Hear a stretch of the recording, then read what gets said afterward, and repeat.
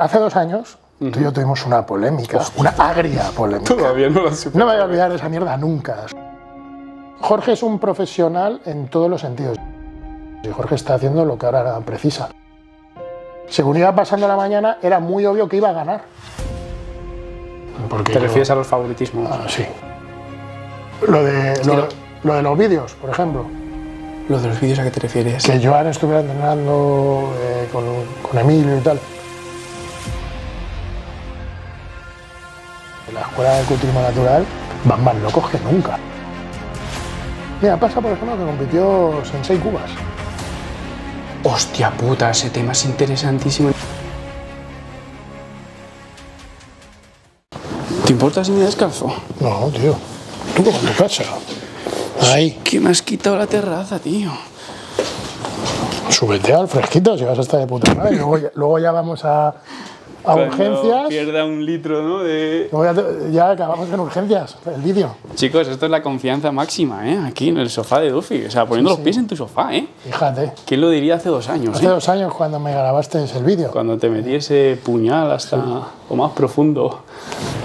Señor Duffy, Aquí estamos. ¿qué tal? El reencuentro. Duffy. Duffy, Duffy. Me bautizó como Duffy y ahí sigo ya. Se ha Para, quedado. para la chavalada, Duffy, Duffy. Te lo llama la Tengo gente, 42 años, cabrones, para que me llaméis Duffy. ¿Te suena ahí un poco, un poco infantil o qué? No se me ve ahí. Chicos, bienvenidos a un nuevo podcast. Me lo habéis pedido un montón porque le encantas a mi público, tío. No sé qué tienes, A mí me mola la comunidad. Yo que soy le un zorrete encanta, más. le encanta nuestro dúo, además. Yo soy un zorrete más. Porque Es un zorrete sí, sí, sí. De hecho, te- antes lo estábamos hablando, que como me actualizo con tus vídeos, o sea, veo todo lo de la comunidad. He tenido que, como sabía que íbamos a hacer un podcast, he dicho, hostia, voy a ver un poco más de la comunidad porque todo lo veo a través de ti. Estoy un poco condicionado Claro. por el pattern. Has visto ahí la cruzada esta que Este, estamos estamos calientes, todo, Está emocionante está- la cosa. está- Para cosa bien. ser verano, que agosto normalmente la gente está un poquito Es curioso, es curioso, pero es un verano atípico en todo, macho, porque los gimnasios llenos, eh, no sé qué está pasando, Algo, algo se está cociendo. Se viene el fin del mundo. Sí, se, viene- se vienen cositas, que, que diría un youtuber. Sí, he preparado tres, no, cuatro bloques, Coño, más luego cuatro lo que tú me quieras. Yo tengo cuatro también. También cuatro. ¿Vale? Chicos, pónganse cómodos, cafecito, porque esto va a ir para, para largo, no tienes prisa. Señor mayor contando películas. Ya. Yo hasta las 10 que tengo que ir al cine, fíjate. Hasta las 10. O sea, nada. Tiempo de sobra. Tenemos una perrita por aquí, chicos. Sí. Que no. que está haciendo un poquito ahí de ruido. Vale, primer bloque, el culturista que está de moda. Que le pondré en el título, porque a día de hoy es lo único que da visitas en la comunidad fitness. Yo, siendo sincero, a día de hoy es lo único que da visitas prácticamente.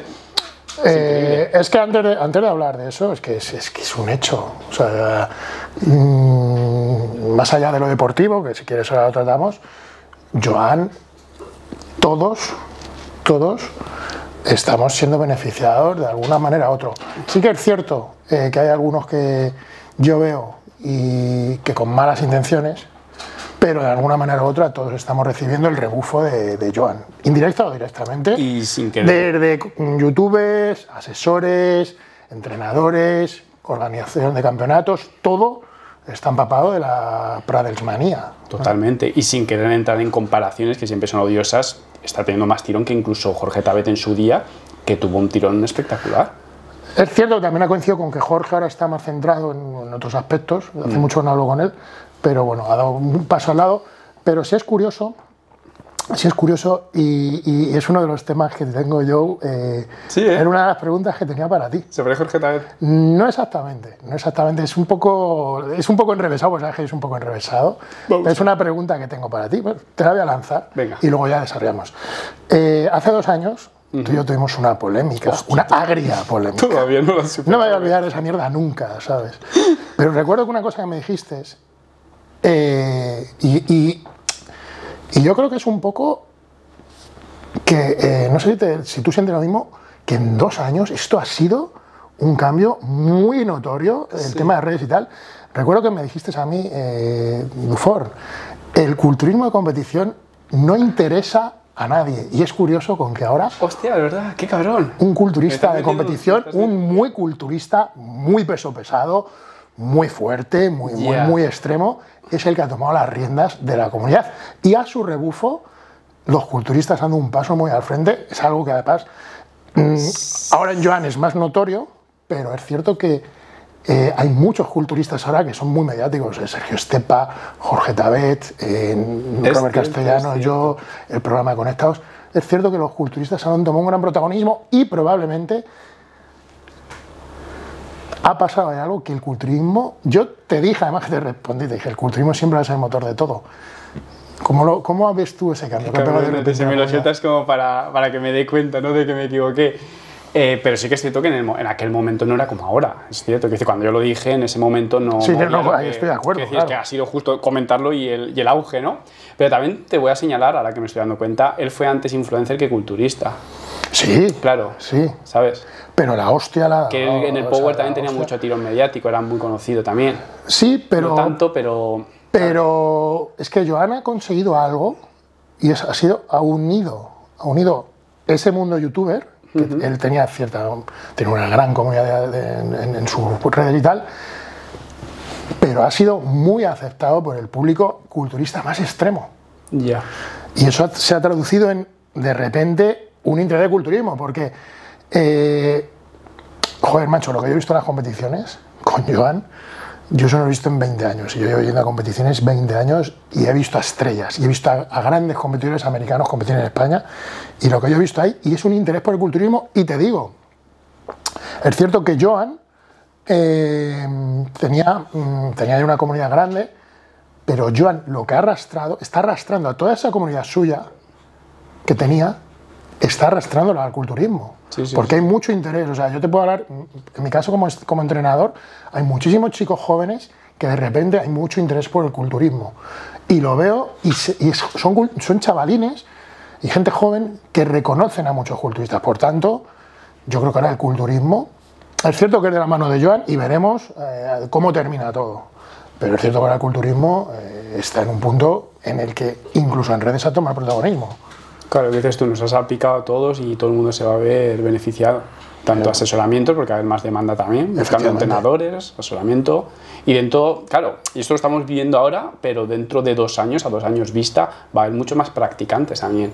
Hombre, todo- ten en cuenta que al final todo es aritmética, al final todos son números en la vida. Eh, si se acercan, eh, yo tendría que hacer números de cuánto han subido mis, asesorías en el último año, pero fácil un 30 o un 40%. De, ese gran, de esa gran masa, evidentemente no todos van a ser culturistas de competición, pero a pocos que sean, 5 o 6, ya son 5 o 6 personas más compitiendo. Entonces yo creo que eh, el culturismo está creciendo de forma exponencial y es algo que no nos hemos dado cuenta y a mí me parece muy positivo. Me parece muy positivo, no solo evidentemente lo económico, pero desde luego que por primera vez, eh, porque Jorge Tabet, y yo y siempre me voy a mantener ahí, es un excelente embajador. Eh, eh, pero, por ejemplo, en el caso de, de- de- de Joan Pradels, es un culturista peso pesado. O sea, Claro. que no estamos hablando de un tipo, Sí, de un mes, de un- no, no, estamos hablando de un tío, hostia, culturista, y dentro del culturismo un peso pesado. Es un tío grande, que le ves entrenando, es una puta grúa, que es un borrico, y que tiene músculo para regalar. Entonces, me choca que en dos años haya cambiado tanto esto como para que en una en eso- hace dos años los culturistas éramos como muy denostados en, la- en- en- en los canales fitness. Y era algo precisamente nuestro roce venía de ahí que yo era algo que no entendía. Y ahora es como que en dos años ha sido como boom como una hostia y muchos canales en cambio eh, que es algo que no sé si tú también estás de acuerdo Se han ido no y muchos otros se han ido disipando y los que no han sabido leer el momento están en horas bajas y en cambio eh, canales como el tuyo, como el de Víctor Valdivia, que habéis diversificado más, han crecido también muchísimo. Claro, de Víctor es un pelotazo que te cagas. No, Víctor es el puto número uno. es exagerado. O sea, Víctor es una locura. Reacciona a lo que reacciona le coge un montón de visitas. Está en un momento muy bueno. Sí, sí, no. De hecho, cuando le veto Pradel tampoco lo, lo he hecho en falta. Porque No, es que, no, porque tira de Yankees que de Nick Walker y le tira que te cagas. de hecho, yo creo que Pradel le, le venía mejor ser. Ah, Pradel le viene Le bien. venía bien, porque aparte a mí lo que hace me gusta. O sea, es un tío que eh, los puristas le atacan y tal. A mí, a mí es un tío que en el mundo de entretenimiento, cuando se examina un campeonato, es como, como escuchar a Andrés Montes, que no sabía mucho de baloncesto, pero, Pero lo hace lo, lo hacía entretenido, yo creo. Y qué pena que no haya coincidido este boom junto con Jorge Tabet, en, ¿sabes? En el sentido de que hubiesen coincidido los dos, ¿no? O sea, el momento ese que tuvo Dulce Tabet, imagínate. Pero yo ahora. creo que ha sido un proceso. Creo que ha sido un proceso y te diría más. No creo que Joan sea al final del camino. Creo que va- no creo que Joan sea al final del proceso. Creo que va a haber mucho más. O sea, creo que todo ha sido un proceso. El Jorge- lo que hizo Jorge Tavez fue muy tocho, lo que ha hecho Joan es tochísimo, pero aún queda más, yo creo que queda más, porque ahora mismo ya el- el- la, la situación en la que está esto, ¿Y no te ha quedado un mal sabor de boca con Jorge Tavez? ¿No crees que se esperaba más de él y está un poco desaparecido? no, ¿Crees que volverá? va a volver, va a volver mejor. Y Jorge, yo es que, yo a Jorge, tío, le tengo, eh, en lo personal, le tengo mucho, mucho crédito. Ajá. Me parece un tío muy inteligente, muy lúcido. Y, y creo que en, en ese sentido, o sea, Jorge está haciendo.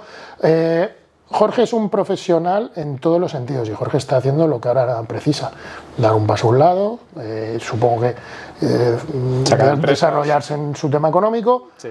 Ha cambiado de preparador, está con un muy buen preparador, está con Raúl Carrasco y está creciendo, que era lo que le correspondía en este momento. Ya, mira, hay una cosa, que, yo no entiendo mucho de, lo- de los de mi generación, ¿no? Y es el continuo ataque a, los jóvenes. Y por ejemplo, es que Jorge Tabé ganó, bueno, con Joan, es que ganado el campeonato profesional muy rápido. Es que Jorge Tabé ganó el campeonato profesional muy rápido. Ya. Mejor, ahora pueden hacer lo que están haciendo. Jorge, ya tengo el estatus, que ese estatus es el que todos hemos querido en algún momento. Y lo tiene con 25 años. Ya lo tiene. Se lo puede guardar, ganar pasta, ponerse más fuerte, hacer lo que quiera y cuando tenga 30, hacer uso de ese carnet. Ya de forma más a saco. Ahora puede estar compitiendo una vez al año. pues, O sea, ¿tú crees que esa es su hoja de ruta? Yo creo que es una hoja de ruta, si no es esa, debe ser muy próxima. Ahora competirá un poco, se guardará.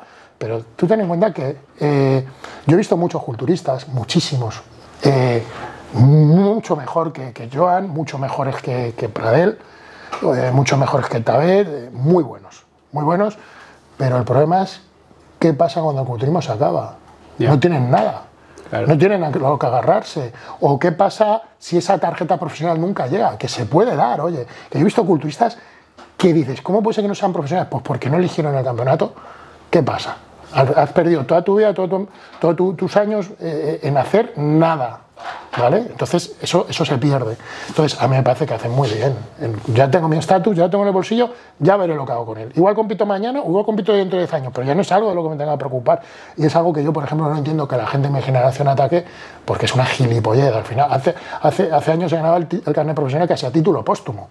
No, un tío con 38 años, con 39 años. ¿Dónde va un tío con 38 años? Con 38 años no tienes que estar jugando con tu hijo, que puedes competir, pero ya, ya no está, ya, ya, ya, ya, ya, ya estás para doblar la servilleta, tío, no tienes que estar ya.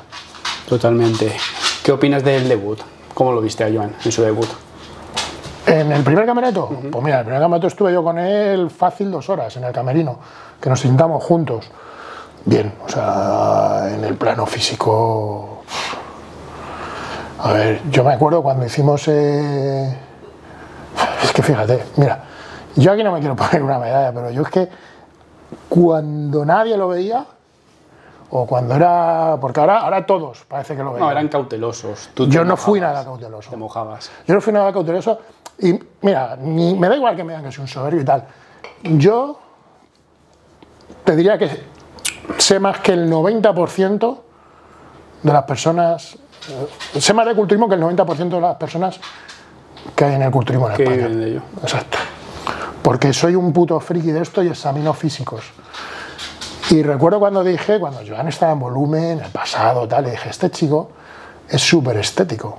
No, ¿cómo es este? Este tío es muy... Sí, bu- decían, es- habrá que verlo. habrá que verlo. Y dije, no hay que verlo, si es que yo ya lo... o sea, vamos a ver, no hay que verlo. O sea, no estamos hablando... No, tío, si tú ves a un tío ya dices, mira, ya tiene la cintura... ya- entonces, el debut, bien, bien. Eh, los nervios típicos de. Los nervios típicos de, un debutante, la pose no trabajarla, todavía hay que trabajarla. Eh, le noté nervioso, le noté nervioso, pero a nivel físico, a ver. eh, en cuanto a físico, tiene fallos. La condición, que es de lo que más ha atacado, eh, no era perfecta, ¿vale? Tampoco fue perfecta que ganó el carne pro, pero es que no lo necesita. Es que culturista, mira, el culturismo tiene varios aspectos: densidad, simetría y condición. Son los tres baremos de culturismo. La condición es la última. ¿Por qué? Porque la sequedad, yo siempre he dicho que cuando un tío depende de la sequedad, si es un físico pobre, porque el día que salga otro más seco ya no gana. Claro. Entonces, eh, densidad muscular tiene tamaño, eh, Joan tiene tamaño, pero no es un monstruo del tamaño. O sea, es, un tío muy grande, pero tiene el tamaño de alguien que te esperas de 110 kilos. O sea, no es un tío que en su categoría es, hostia, es un puto monstruo. Pero Joan es muy bonito. Por tanto, puede prescindir de ese extra de, salir cadavérico para llevar un músculo más redondo. ¿Qué pasa? Que conforme está el culturismo hoy en día, eh, y repito que Joan tiene fallos, conforme está el culturismo hoy en día, Joan con el doble bíceps que tiene, que para mí, para mí, igual, igual me, me mojo, que, que- siempre lo hago, tiene el mejor doble bíceps de, el mejor doble bíceps de frente que yo he visto en la historia del culturismo español. Primero él y luego Marco Chacón. Sin duda, el mejor doble bíceps de frente que yo he visto. ¿Qué pasa? Que tiene ya medio camino hecho. Es cierto que la espalda todavía no le acompaña, pero la espalda es un, es un grupo que es muy de madurez muscular. Y no hay que obviar que es un tío de 25 años. Claro. ¿Vale? Eh, si, por ejemplo, cogemos, haciendo un símil, a Sergio Estepa de hace dos años, con el Sergio Estepa que vamos a ver, el principal cambio lo vais a ver en la espalda, porque ya es un músculo, ya es un tío que ha seguido trabajando. Entonces, con ese doble bíceps y con ese de frente relajado hoy en día, que lo que se busca en la X, Joan tiene medio camino hecho. Entonces, no tuvo oposición ni en Madrid, ¿vale? Ni en Madrid, ni en. con Haider, ni en. ni en. ni luego En en en el Pro.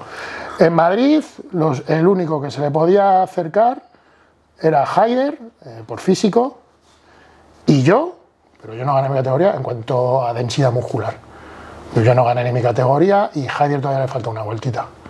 Entonces, no es que sea soberbia lo que he hecho de meterme a mí, es que es así. O sea, victorias Que yo en merecidas. Madrid tuve que ganar. Victorias merecidas y el nivel de las competiciones, ¿cómo lo viste? En Madrid bien, en Madrid bien, porque estaba José Campos, estaba Haider, en Madrid estaba bien, en absoluto, absoluto adecuado. En, en, Alicante. en Alicante la línea muy cortita.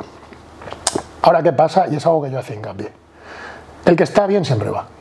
Es decir, un campeonato de 10, eh, los que van, los tres primeros, sabes que van a estar bien. Pues si tú estás bien, tú vas. Ya. ¿Vale? Entonces, eh, pues mucha gente, ¿le anda el carnet? No, no, le anda el carnet, lo ha ganado. Lo ha ganado. Y es que en, en- en- en- Alicante, aparte de que él iba mucho mejor, había matizado y tal, porque es normal, eh, conforme se desarrolló el campeonato, según iba pasando la mañana, era muy obvio que iba a ganar. ¿Vale? Era muy obvio que iba a ganar. ¿Por qué? Porque el único que le podía inquietar era Haider, pero Haider se hizo profesional 20 minutos antes en Classic, y luego había un rumano, eh, Alexandru de apellido, que se puso malo en el escenario. Y cuando salió con Joan, se le veía francamente mal. Entonces, es que eh, José Campos no ganó su categoría, quedó segundo. em, es que era incuestionable, tenía una superioridad abrumadora. Entonces, eh, es que vamos a ver, es que no, no, no, no, hay. No hay. El otro día cuando había tu, tu. El, vídeo, tío, decía, "Bueno, eh, yo es que, que estaba de comentarista, yo, yo es que creo que he visto otro campeonato.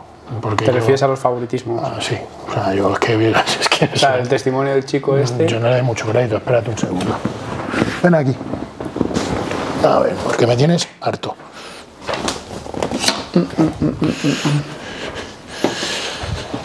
Yo, como te digo, no vi. Es que vamos a ver, qué favoritismo. Si es que era.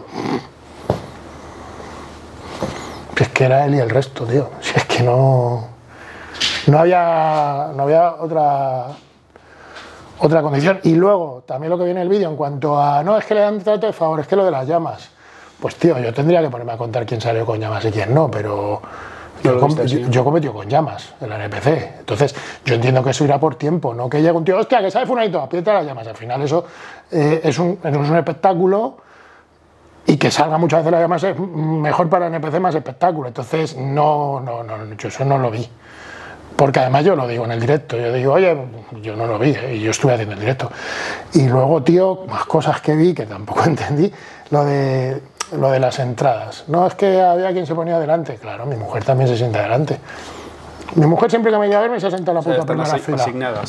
Porque pagas, tío. O sea, yo me he gastado, cada vez que yo, cada vez que a competir, me he gastado 80 pavos en mi mujer para que mi mujer se siente con mis hijos en primera fila. Y mi entrenador también en primera fila. ¿Por qué? Porque le pago una entrada VIP. Entonces, eh, yo creo que el problema es que yo creo que está pasando es que con la NPC no entienden un poco la idiosincrasia de NPC. NPC es un espectáculo. En IFEB, que mucha gente va a la IFEB buscando, va a la NPC buscando la IFEB, en IFEB son 500 sillas de playa o de, o de bar y el que entre primero se sienta. Aquí hay unas entradas numeradas, como el que va al cine. Tú pagas la entrada cara, te sientas en la primera fila. Yo este año me gasto una pasta en entradas y en pulseras para que mi entrenador pudiera entrar y salir del backstage, ¿vale? Y se sentará en primera fila, porque yo quiero cuando estoy compitiendo mirar abajo y que mi entrenador me haga pa, pa, pa un lado. Entonces yo creo que entiendo un poco la idiosincrasia para criticar algo. Que yo no trabajo para NPC, yo cuando tengo que criticar algo de NPC lo he criticado, pero es que mm, hay que saber las cosas, hay que saber las cosas. Y luego trato de favor, pues vamos a ver. Eh, eh, vamos a ver, Joan es un excelente en relaciones públicas.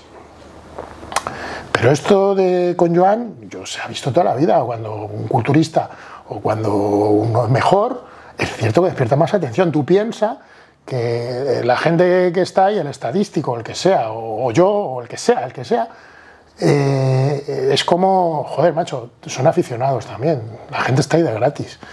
Entonces es normal que quieran hacerse una foto con Joan, porque mm, no, es que al final dejaron de hacerse fotos con Joan, como en todos los campeonatos, se hace foto al final los campeones del absoluto. Igual que en todos los campeonatos, al final se hace una foto con el campeón absoluto en el escenario y se hacen fotos con ellos. Entonces creo que hay que entender un poco la idiosincrasia de donde uno va.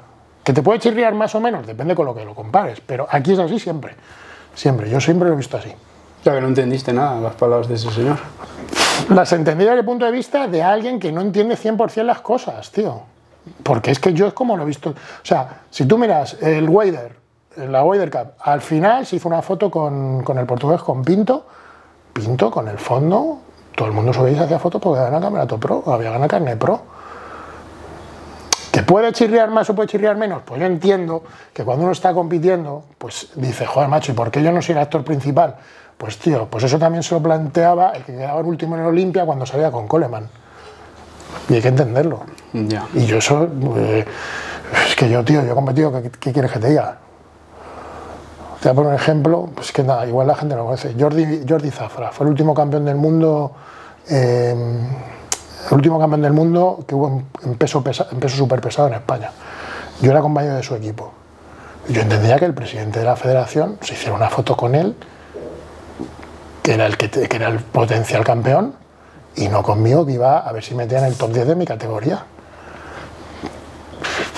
Es que, es que, o sea, que te puede sonar peor como deportista, pues te puede sonar peor, pero que la vida es así, es así, tío. Cúrratelo tú.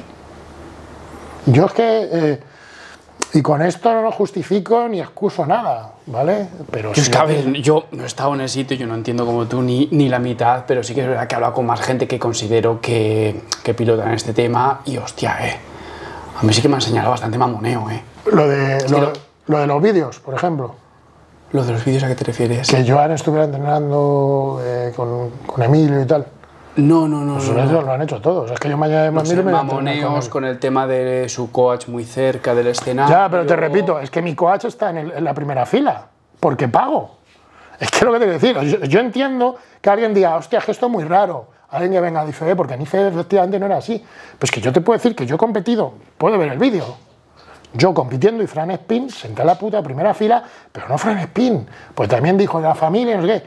Fran Spin, mi mujer, mi niño, mis padres. Bueno, miento, porque a mis padres los subí a un anfiteatro, pagando porque quería que mi hermana se había operado una pierna y tenía que estar con la pierna estirada. Entonces, es que es lo que te quiero decir, es que al final partimos que tú eso lo puedes criticar y decir, eh, joder, es que el que tiene pasta, es como si ahora, mira, No, a ver, sinceramente eso no se puede criticar. claro, es que claro, es que dices, yo, yo la información que tenía. claro, no- pero es que no- la información eh, es que no es así.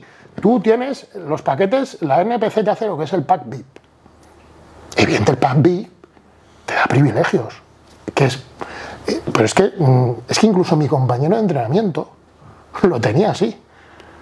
Joder, pero entonces les falta mucha información, son privilegios pagados de toda la Claro, o sea, es como si alguien te dice, es que están beneficiando al que paga. No, Hostia, es ya, todo, venir pues en paga tú, en- claro. En primera, ¿cómo se llama? En primera línea no, lo de los aviones, en primera, En primera, en primera clase. fila. Es que yo me quiero sentar en primera, fila, en hombre, primera pues paga el clase, en primera clase de avión, claro. Claro, pues es que es así. O sea, yo te puedo hablar. Mira, yo cuando ha llegado el, el, el waiver, yo me gasté en entradas. Es que te lo digo fácil. En el, en el Verónica Gallego, yo me gasté en entradas 300 pavos.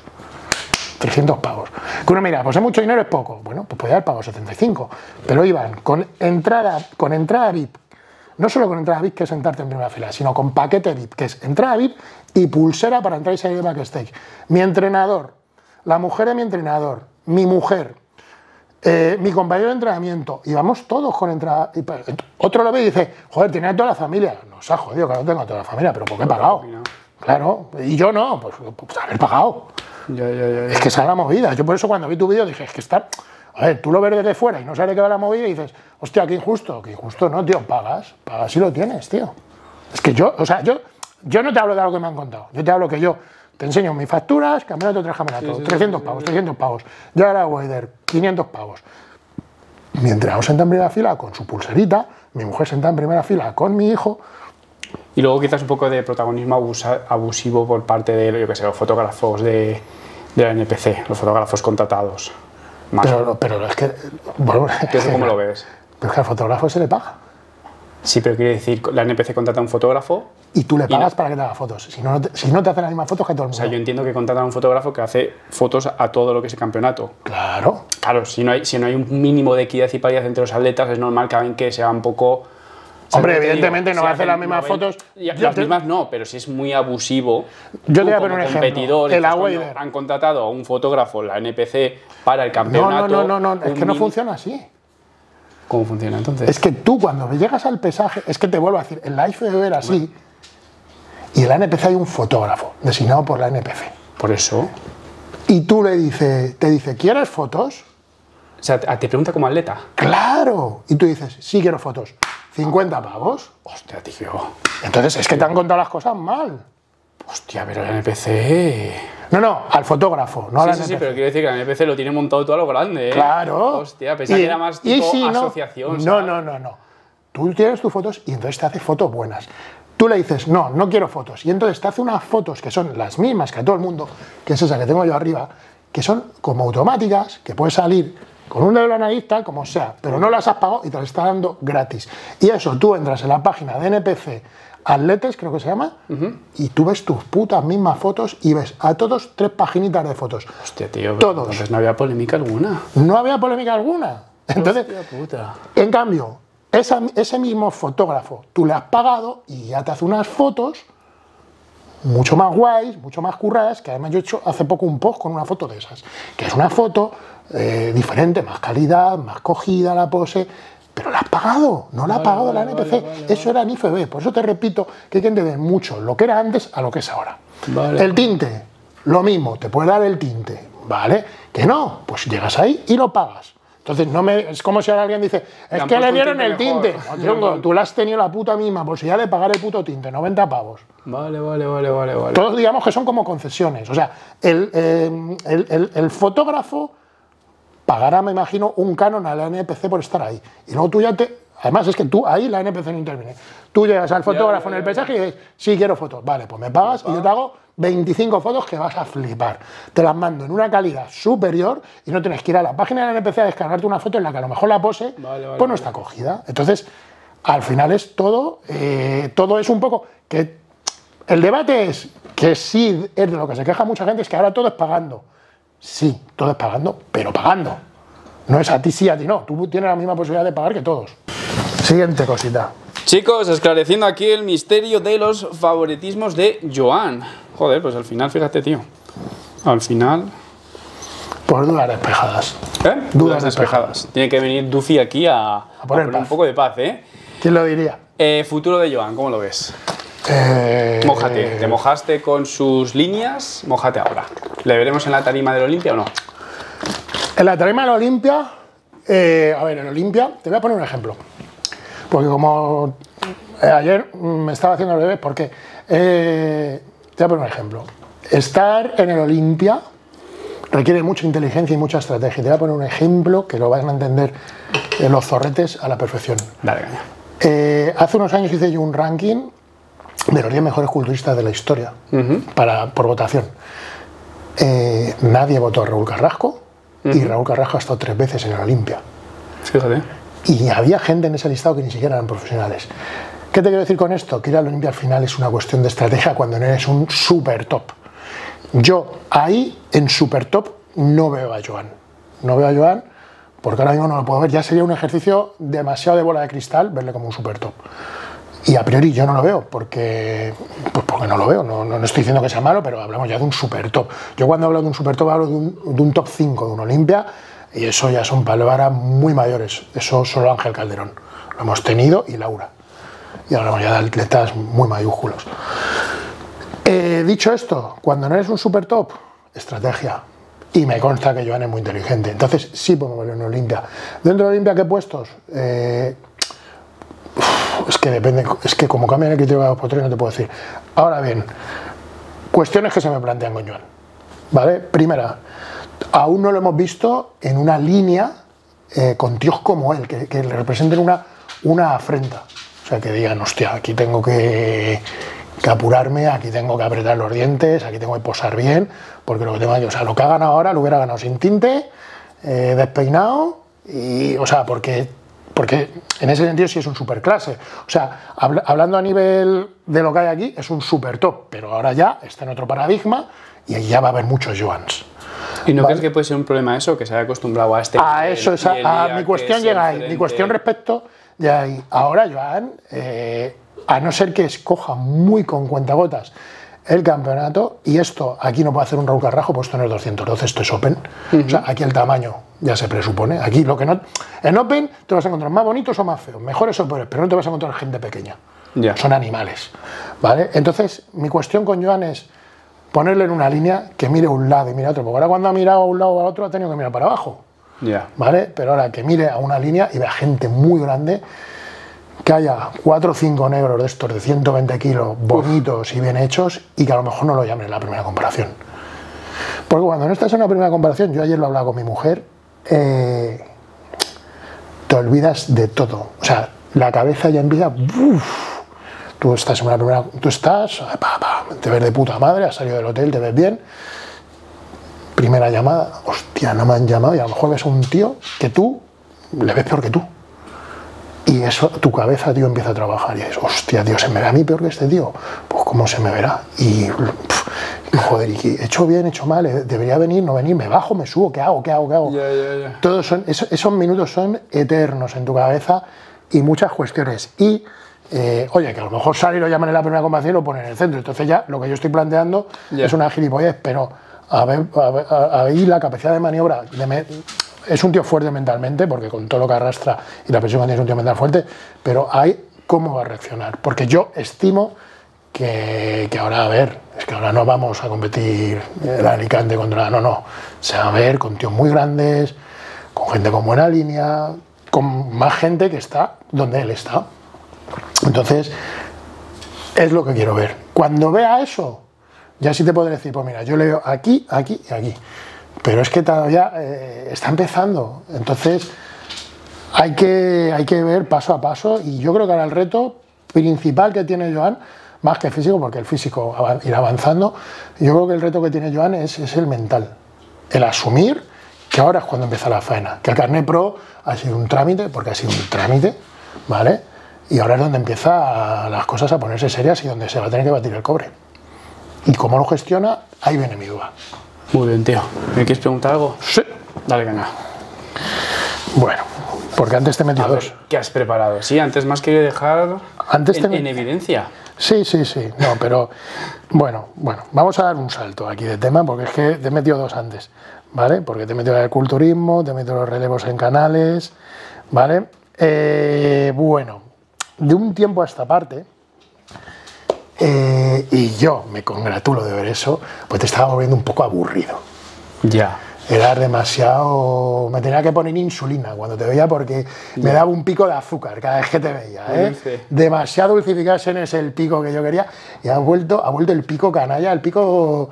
El pico. He refrescado El pico, el pico que nos gusta. La refrescado mucho el, el contenido. Eh, ¿Qué ha pasado? ¿Qué ha pasado? Claro, porque es que haya pasado, porque yo admito que ha habido vídeos que hacía. Iba pasándola esta y ahora he vuelto a tragarme los enteros. También te voy a decir una cosa, ¿eh? En mi defensa diré que tampoco son tan malos esos vídeos, lo que pasa, que esto a veces en autofelación, creo que acostumbré también a un nivel muy alto. De muchas polémicas, ahora- no, de muchas ahora- tragedias, de muchos dramas, de mucho tal, y acostumbré a eso tanto que luego cuando daba algo que quizá, que, vale, que acepto el mea culpa, no era bueno, pero no era tan No, no me refiero tampoco. bueno, no, no me refiero a bueno o malo, se me criticaba sino dulcificado, sí, pero cuando dulcificado. se me criticaba ese contenido, yo lo comparaba con otros y decía, joder, pero si aún así, joder, ¿sabes cómo te digo? ¿Qué es lo que pasa entonces? En mi defensa diré eso, pero sí, en torno al mea culpa y sé que hay como que mm, bajé, o sea, pisé un poco el, el freno.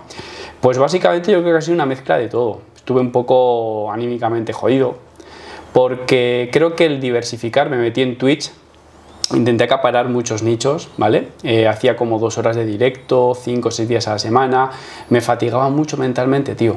Te lo digo de verdad, ¿eh? Parece una tontería, pero... Es que uno a debe coger su nicho y hacerse- especializarse. a nivel creativo me desgastaba muchísimo, me quitaba ganas de grabar en YouTube. Entonces, al centrarme tanto en Twitch, el, el canal principal lo dejé con un vídeo semanal, ¿vale? Y lo que te he dicho, estaba fatigado, estaba un poco anímicamente desmotivado también. Y al final, ¿sabes lo que ocurrió? Mira, a mí el canal principal siempre me fue bien, pero al intentar abarcar tanto, lo que conseguí es trabajar más que nunca y que todo fuera mal. ¿Sabes? Claro. Porque Twitch no me, iba, no, me, no me iba muy bien y el canal principal se empezó a resentir por ello. Entonces al final yo trabajaba mucho, me agobiaba mucho y todo iba mal. Hasta que toqué fondo y decidí que bueno, yo había invertido por, por Twitch porque había comprado, pues, había comprado una máquina arcade, había comprado un setup, había comprado un ordenador, bueno, que lo utilizo para otras cosas, pero había hecho una inversión y tuve que, pues bueno, que, que dejarlo. Bueno, a veces es un paso atrás. Sí que es cierto que en este, en este retorno, eh, o sea, por ejemplo, el pico, el pico antiguo, ¿vale?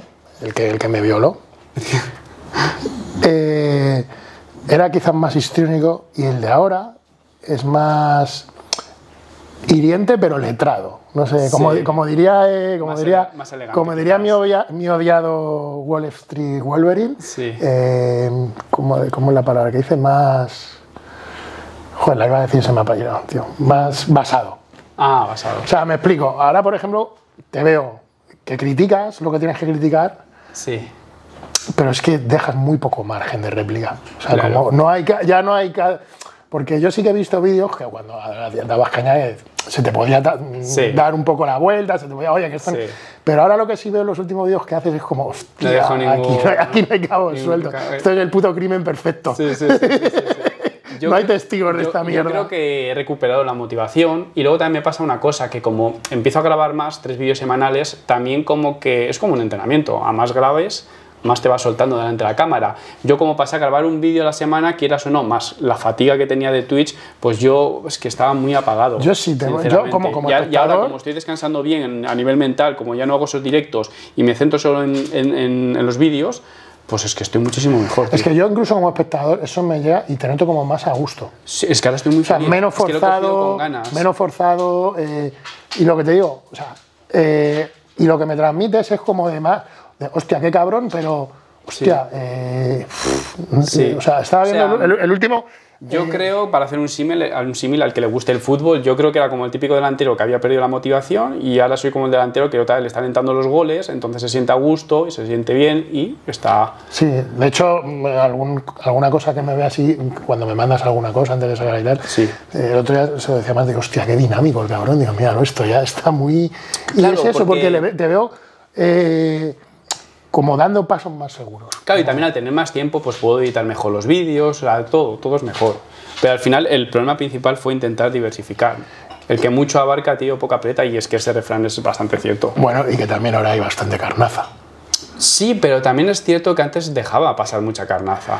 Sí, pero es que ahora hay, car- ahora, ahora hay caza mayor. O sea, ahora lo que yo veo, por ejemplo, Sí. que era una pregunta que te tenía, te tenía Sí, ya que lo de, la estamos cruza- hablando lo de la cruzada de los natis. Los natis van mal. Bueno, lo- lo- lo- los natis no. La, la, la pandillita, pues una pandillita porque no Los que se han adueñado del culturismo, puede ser. Exacto, eh, la escuela del culturismo natural. eh, van más locos que nunca. Sí. O sea, yo les veo ya eh, desmelenados, eh, Sí, sí, a sí, pecho, como dices tú, que se lo pasen al pe- Ya pueden con Pecho todo, tío. Ya pueden con todo y sin ningún tipo de complejos. Y, hostia, yo es que los veo eh, más locos y más ridículos que nunca. Más ridículos, ¿eh? Sí, yo cuando vi el campeonato con el peluche puesto, el otro con la guitarra, eh, o sea, A lo perro flauta, ¿o qué? o sea, sí, digo, lo- vas a ir uno con unos malabares, eh, eh, o sea, yo creo que están en, en- ya, Pero tuvo buena recepción, ¿no? Fue bastante gente. pero es como un microclima, ¿no? Eso es como, como su parcelita, o sea, como que no llegan a nadie. Yo creo que, yo creo que no llegan a nadie ya. El problema es que creo que ya no llegan a nadie, están, eh, porque todavía hay gente que se piensa que esto de las redes funciona a base de polémica y la polémica es válida para todos. No sé si, lo, si me, me explica. La polémica es buena es para, es pero una- la polémica es buena para el que es polémico. Sí, pero es un arma de doble filo. Exactamente. Porque yo he sido polémico oscuro y he sido polémico blanco. Y no es por, ya sabes, típicos colores. que nadie lo saque Bueno, bueno, que bueno, nadie lo saque bueno, bueno. Noche, día, que nadie lo saque de Bueno, esta casa es Black Friendly. O sea, Por no favor, negro, coño. Entonces, yo como marca personal, yo eso sí que lo he notado mucho, tío. Si tú haces la polémica como la tienes que hacer, Sí, en pero- mi caso, si eres, el, si eres tu villano favorito, ¿no? Esa, tu marca personal va a ser buena. El problema es ser oscuro. Y el problema también es cuando, cuando ese no es tu nicho. O sea, eh, Sí, como si ahora me pongo a hacer. a conocer por la divulgación y de repente como si ahora me pongo a hacer vídeos de polémica, a subirme ahí al carro Sí, de alguien. como estoy llamando aquí a tu atención. Entonces yo creo que están un poco ahí porque realmente ellos ya no llegan a nadie y lo que están consiguiendo es que el, el- el- el grupúsculo ese que tienen sea todavía más, de más fanáticos. Porque, escúchame, el funcionamiento, para decirles secta, porque la gente no es que es una secta, tendría que haber una cabeza pensante. Y a mí lo que me parece Me la es que... hay. Yo, yo es que, bueno, pensante sí, pero yo creo que no hay nadie al volante realmente, que es que lo que hay es un tío que va, va por chorros, porque... Mira, a mí me pasó algo con él. Yo no he tenido nunca un roce con él directo hasta que yo me dije, este tío es un charao. Eh, me pasó algo curioso porque él se quejaba, no sé, yo ahora con el tipo este de banda al final, es curioso porque él se quejaba de que le hacían vídeos riéndose de su apellido. Ah, que a ti te atacó por eso, de... Sí. ah, ta". Qué maduro me dijo, Sí, sí. pero es curioso que él a mí me hizo un vídeo metiéndose con mi apellido. Sí, ¿qué dijo? De- de- de- Dufa- Dufa- Ferrero Rocher, ¿cómo se No llama? Sí, digo, digo, además le dije, digo, que me vas a llamar gafotas o, Ya, o- ya, ya, gordo. Entonces, eh, son, me parece que son la forma de funcionar, el funcionar que tienen. Aparte, mira, hay algo con lo que yo no puedo, y es que eh, es la personalidad llena, o sea, funcionan como llenas, como que uno señala y los demás chi, chi, chi, chi, a mordisquear, porque por ejemplo ahora, y tampoco se trata de un monólogo sobre Joan, pero ahora metiéndose con Joan es como, venga, vamos a subirnos también al tren, a ver si, a ver si algo pillamos de, de Joan, pero nosotros vamos a pillar metiéndonos con él. Pero siempre han estado haciendo eso, ¿eh? lo de atacar. Sí, pero es una, es una forma de actuar como las llenas, y yo eso no- es de las cosas que menos respeto Yo creo ser que humano. deberían ser un ejemplo en el sentido de sacar pues, buenos atletas que, que demuestren que natural se puede, que en cierto modo creo que a veces lo han hecho, o sea que tampoco es tirar mierda, han No, hecho cosas bien. tienen- hay gente- Y o se sea, yo, por ejemplo, se siempre- siempre alababa el físico de. Adrián. Se tienen que centrar en ser un ejemplo, pero sin atacar a nadie. O sea, si tú quieres que el culturismo natural sea atractivo, tienes que tener Mira, pero te- una yo- buena representación. Pero para ¿no? que tú veas hasta, hasta si está presente en ellos este complejo, eh, como esta semana he estado haciendo los deberes. Pero es que más que- es que aparte de complejo es como rabia. Es Sí, bueno, rabia eso es de- como de- rabia. de Mira, yo sentirse esta semana viendo. en la sombra. Sí, yo esta, esta semana viendo eh, vídeos de muchos canales y tal, como te he dicho antes, y me puse a ver uno de Víctor Valdivia que tenía invitados de la Escuela de Culturismo Natural. Y le preguntan a un chico y dice: Hola, eh, bueno, explícanos quién eres. Hola, me llamo tal y soy culturista natural. ¿En serio para presentarte? O sea, ¿en serio eres lo que no te pinchas? Porque yo no soy lo que yo me O sea, pincho. se lo ponen muy de Yo soy muchas más cosas que lo que me pincho. Entonces, para ti está tan presente las sustancias, están más presentes para ti que para mí, que hago uso de ellas. Es un complejo continuo. Eh, bueno, ¿y qué opináis de que hagan un vídeo? Es que, eh, es que no deberían mostrar Pero ese ¿no crees que puede ser porque la, la diferencia es tan notoria que entonces es Yo no importante sea señalarlo tanto. cuando no te beneficias de ello? Eh, mira, eh, luego lo mismo. eh, es que no me parece bien que hagan un culturismo. La sociedad, no- la sociedad en general, no sé si culturismo natural o no natural, porque tampoco se preocupan si uno que sube el Tourmalet lo sube habiendo pues, se, se ha puesto EPO o no. Ven culturismo. Han enseñado a este chico porque este chico ahora mismo es el abanderado del culturismo. Entonces, deja de dar la turra, tío, con el, puta, con el puto anabólico. Si hay diferencia o no, pues no tanta, tío. Es que no tanta. Es que yo creo que ellos se piensan que la química te lanza un universo de magnitud física nunca conocido por el ser humano y aquí me tienes a ver con una puta mierda de brazo. Es que no es así. Es que no es así. Y si mañana coges un campeonato de España y quitas la química, el resultado va a ser el mismo, van a ganar los mismos. Van a- o sea, no, la química no cambia nada, acelera, pero no cambia nada. Si eres malo no vas a ser bueno. Es que esa- ellos, eh, y yo con esto no quiero quitar importancia a la química, porque la química en un culturista es una enorme diferencia, una vez ya metidos en ciertos niveles. Pero eh, le dan más importancia a ellos que nosotros, tío. Bueno, ellos, es que tampoco me gusta hacer esa dife- Y por ejemplo, se me ha ocurrido, antes se me ha olvidado, el tema de que Joan haya llamado la atención de Antena 3 y la Sexta. ¿Cómo os ha dado eso, tío? Pues yo estaba allí cuando, además le trataron con mucho respeto, porque yo estaba en concreto, fue eh, la primera entrevista estaba yo presente. Bueno, cuando lo empezaron, lo hicieron con mucho respeto, que yo decía, madre mía, esta gente, Sí, yo hablé con él. pensabas que iban a buscar el morbo, Digo, ¿no? madre mía, Joan, al contrario, trataron con muchísimo respeto, porque al final, joder, tío, es que Joan como marca es una buena marca. Sí. ¿Tú te crees que un chico de esa edad que mueve a esa gente, que se ha montado la ropa de la camiseta, ¿tú te crees que no es un buen ejemplo? Eh, es que piensa lo absurdo de esta gente. Eh, tío, está poniendo tu deporte, es un chico joven, es un chico joven, empresario de éxito, pues un empresario de éxito, tío, está poniendo tu deporte, ¿qué más te da lo que haya tomado o no tomado, lo que haga, lo que, qué más te da, está poniendo tu deporte? Y O sea, ¿tú crees atacas. que Joan puede salpicar positivamente incluso para el culturismo natural? Claro, porque Sí. es que es culturismo, es que mi madre, no, mi, mi madre no me va a decir, Sergio, has un culturista natural. No, Sergio, has un culturista. Ya, Es que es absurdo, es que es ridículo. Ya. ya. Es que tú ves que alguien. Que nunca, nunca me lo había planteado así. O sea, que ellos son los primeros que más se les interesa diferenciar, ¿no? Y, y es, y es estúpido.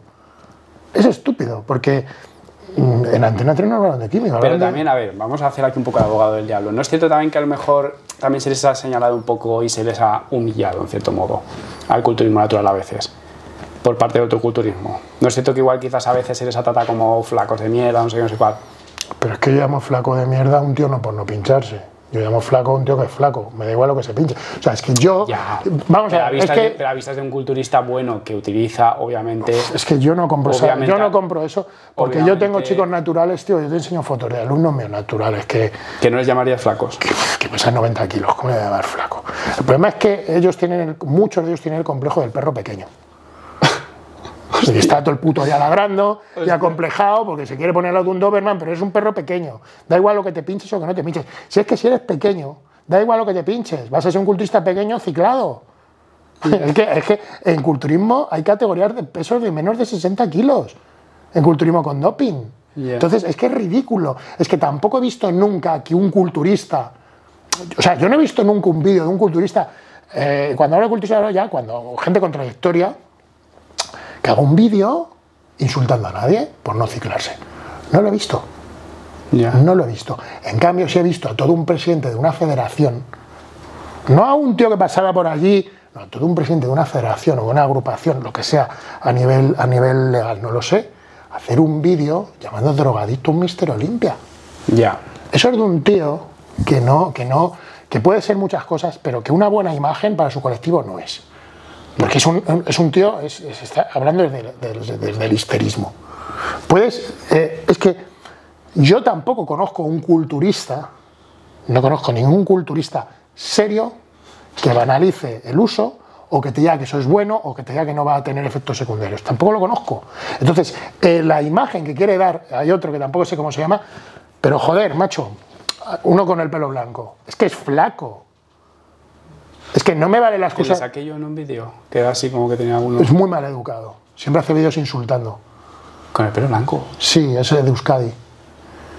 Ah, que saqué yo en el vídeo. Sí, creo que sí. Que llamó Joan Farmacia con pata. Ese, ese.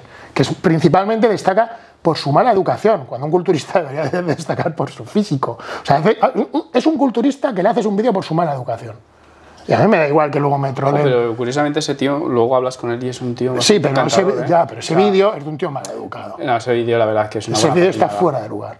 Pero O- si, yo Otra veo, vez volvemos a lo mismo, es desde la rabia. Claro, pero si yo veo a ese tío, si yo veo a ese tío hablándome de culturismo, insultándome en esos términos, eh, ¿qué le voy a decir? Si es flaco, ¿qué le digo? Que no es flaco, es que es flaco. Como si tú a mí ahora me dices, eh, eh, calvo y gafas. ¿Qué te voy a decir? No, es que no te- pues estoy calvo y tengo gafas. Es que es un hecho. Es como cuando a mí me dicen que tengo el cuerpo feo. ¿Qué voy a decir? ¿Que no lo tengo feo?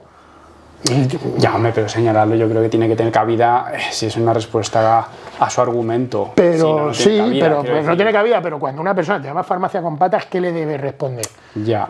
Ya que le- Pero- pues pero lo más normal es que ya anda, vete a la mierda pero o pero te- demasiada educación pero tiene rebajando a su altura. Claro, demasiada educación tiene Joan. Yo, por ejemplo, no tengo esa paciencia, ¿sabes?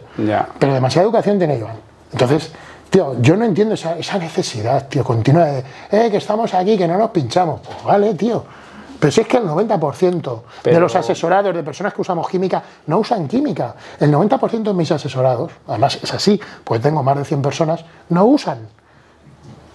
Yo aquí voy a hacer, hoy voy a hacer un poco de abogado del diablo, ¿vale? Te voy poniendo Sí, distintas sí, sí. situaciones, no es por proteger ni dejar No, no, de, pues está bien. de proteger, pero también ellos señalan muchas veces como que, claro, ellos no insultan a, a los naturales, pero porque no son ellos los que están opacados, claro. Quiero decir, es muy fácil portarte bien y no atacar al autoculturismo cuando tú eres el que tiene los Volve- focos, Eh, volvemos, ¿sabes? volvemos un poco a lo de antes. Entonces, si se cambiasen las tornas, Volvemos a la si fuese comparación el que culturismo natural que tuviese el sí. 90% Sí, sí, de, de la posesión, claro, igual Eh, fue- serían claro, nosotros los que tirarían mierda, ¿sabes? Pero vale, pero volvemos a lo que tú has dicho antes. eh, el que se enfada por no viajar en primera. Ya. Chico, Ya. brilla por ti mismo, no me insultes. Es que es muy. O sea, esto es como el que tiene un bar. Y se queja de que el bar, a su bar no entra nadie y, al, al bar, y, el, y el- el otro bar está lleno de gente. No, es que, es que no saben, chico, pues mejores tapas. A lo mejor. ¿Entiendes lo que te quiero decir? Haz algo atractivo. Te aseguro que el marketing de un presidente de una federación insultando al personal es de todo menos atractivo. Te aseguro que un señor ya eh, talludito insultando al baluarte del culturismo actual en España no es buen marketing. Porque tú me vas a decir, eh, Joan creo que tiene como 300 seguidores en su canal, ¿no? Eh, 200.000 en Instagram. Sí, y- bueno, los- muchos, Sí, muchos. muchos. ¿Tú te crees que probablemente el 90% de los que le siguen son naturales? Sí, O más. sí, sí. sí. Entonces, algo, algo, algo falla ahí. Cuando eh, eh, tienes ahí una pila de chavales que no entran en esa Es mierda. hay mucho aficionado al culturismo que jamás se plantearía utilizar. Claro, tío, Simplemente le gusta el espectáculo Entonces, ¿por qué y le gusta la grandiosidad en el sentido de que son gente más. Pues es que además más hay más federaciones naturales y no tienen esa disputa, no tienen esa pelea y conviven. Pero lo peor de todo es que encima ellos estaban creciendo. No sé por qué tanto berrinche. Porque no, porque el problema es que Con Miguel Iniesta, con Adrián Lines, con Kevin, tenían ahí tres bastante punteros. sí. Estaban haciendo campeonatos bastante buenos. En Mallorca que hicieron uno bastante No, bueno. yo, por ejemplo, con Eneco es un tío que respeto enormemente Eneco como también, entrenador. ¿eh? Eneco también estaba por ahí, que por ejemplo ahora se ha separado un poco. Sí, porque es normal. No se ha hecho nada público, pero bueno, se atas, Pero- un, poco, se atas un poco los cabos, te das cuenta de que se han separado. Pero ¿cómo no se van a separar? Cualquier persona con dolor de frente, eso es como una novia tóxica, tío. Sí. Ya puede tener el mejor culo del mundo. Que al que a dices, le llegaron a increpar simplemente por por... dar un me gusta. ¿Tú te crees que Es que tú eso lo ves desde fuera y dices, claro, es como si conoces a una persona ya y el primer día, ¿no? De- empieza ya a cotear el teléfono, ¿no? Le pones una tarjeta roja. Claro, tío. Pues tú imagínate a una persona que ve eso desde fuera y dice, ah, estos son los de Yo, culturismo mira, natural. yo el culturismo natural lo voy a apoyar siempre. Como, como figura, oye. Porque es que yo lo Tú lo respetas. Yo lo respeto, yo lo promulgo. O sea, es que el 90% de mis asesorados son naturales y siempre hablo de química con mucha prudencia, solo si tienes objetivos competitivos y si además tienes predisposición para crecer, porque hay gente que es el ciclo y no, y no crece, no pasa nada. Dicho esto, que yo respete el culturismo natural como ente, no quiere decir que yo vaya a, a respetar a sus representantes, Esto lo he dicho yo muchas veces. los tío. cuales me repelen enormemente. Es que la culpa aquí no tiene el culturismo natural. Porque yo, por ejemplo, yo respeto como deportista a- enormemente a Adrián, a Miguel Iniesta, a, a Kevin no lo conozco, los respeto enormemente. Son físicos que me gustan, son culturistas. Yo no voy a entrar, es que ponerme a entrar si toman o no toman, es como ponerme a entrar si uno corta la sal o no la corta. Son formas de prepararse, ¿vale? Y los respeto enormemente y sobre todo valoro sus físicos y son muy buenos físicos. Ahora bien, ¿eso quiere decir que yo vaya a respetar su organización, incluso sus títulos? O no, o, y mucho menos eh, el, el berenjenal donde está metido. No lo voy a respetar nunca, porque eso ya es, no es lo deportivo, es en lo personal. Y esa gente ya tiene cosas que yo como persona Rechazas. rechazo. Ya me da, me da igual que fuera el puto Ronnie Coleman. Si es un gilipollas, puedo decir que está más fuerte que la hostia, pero es un gilipollas, tío. Ya. Y el caso es que lo son. Es que Amorosi no carbura, tío. Entonces, mm, ¿Tú crees que no carbura? Yo creo al revés. Yo creo que es muy listo. yo creo que carbura demasiado. Carbura demasiado. Entonces va a paso de vueltas. Sí. Entonces, es, esa gana de acaparar, esa movida. Entonces, eh, creo que hace un flaco favor a su colectivo. Ya. Si quisiera el culturismo, lo pro- el- de- natural, venga, vamos a hacer el culturismo natural, tío, promocionalo de otra manera. No hagas un puto seminario. Si hace un seminario, habla más de química que yo cuando di un seminario. Ya. La tiene muy presente, eso es cierto. Y en- también dentro del marketing, cuando a mí me salta publicaciones y tal, Ma- también la tiene muy presente. Como lo primero que señalan. Que yo me voy a cenar Los con gimnasios amigos. están inundados por el consumo de farmacología. Pero es que pum, tampoco es verdad La eso. alternativa. Es que sí, pero le encanta pintarlo muy caótico. Claro, pero es que ni siquiera es Porque luego él te muestra la alternativa. Hemos creado la alternativa, ¿sabes? Te- él te enseña el problema y luego no ha te, te enseña el problema y te hace creer que trae la solución. Pero es que el ¿sabes? culturismo natural está en España desde que llegó el culturismo en los años 50. O sea, es que él no ha creado nada, él no ha traído nada. Es que detrás de cada culturista natural, detrás de cada culturista que hace uso de química, ha habido antes un culturista que no ha hecho uso de química, entonces él no ha traído nada, no ha inventado nada. Ya. Entonces, me están vendiendo una cosa, el culturismo, este chico cuando empezó a competir, en el 2001, 2002, 2003, cuando empezara, y los de antes, que eran? Te puedo decir un listado interminable de competidores naturales, de buenos competidores naturales, de Enrique Torrent, que es un culturista de los años 70. Ya. Sí, sí, sí. sí. Entonces, no has traído nada, tío. ¿Que lo han mejorado, le has dado forma? Sí. Sí, incluso él cogió las riendas ya de la WNBF Claro. una vez creada. Quiero decir, ni siquiera la creó él pero, cero. pero de hecho, estás embarrando cuando un dirigente no puede, eh, no debería estar en eso. Ya. Te he metido las cuatro preguntas en el diálogo. ¿Sí? Una tras otra. Es que claro, como nos podemos hablar y vamos desarrollando, Chicos, espectacular, ¿eh? Hemos llegado aquí al Ecuador y bastante... Hemos entrado en materia de la buena. sí, bueno, hay muchos más temas que claro, que están pendientes. de- Claro, es que llevamos muchos meses sin vernos. Claro, es que han pasado cosas, han pasado cosas. Ha pasado... Mira, ha pasado, por ejemplo, que compitió Sensei Cubas. Hostia puta, ese tema es interesantísimo y no se me había ocurrido. Sensei, ¿cómo Pensé que me ibas a preguntar por Luis, se macho. me fue, tío? Es que tengo tantas cosas en la Pero es el cabeza. tema que, aparte a mí, claro, no nos vimos cuando yo Claro. hice el directo con él, se lió la monumental después del directo. Chicos, bloque Sensei Cubas. Bloque Esto es Sensei, buenísimo. bloque Sensei. Claro, porque poniendo un poco en situación a la gente, Sensei Cubas dijo que iba a medio gas, que él quería ganar al mejor, ser el mejor y ganar al mejor, y no le ha ido muy bien en las últimas competiciones. Sí. ¿Qué opinas al respecto? Bueno, a ver, yo tuve mucha polémica cuando hice un directo con él en Más Músculo, ¿vale? Que por cierto, en Más Músculo me dijeron que parecía tu.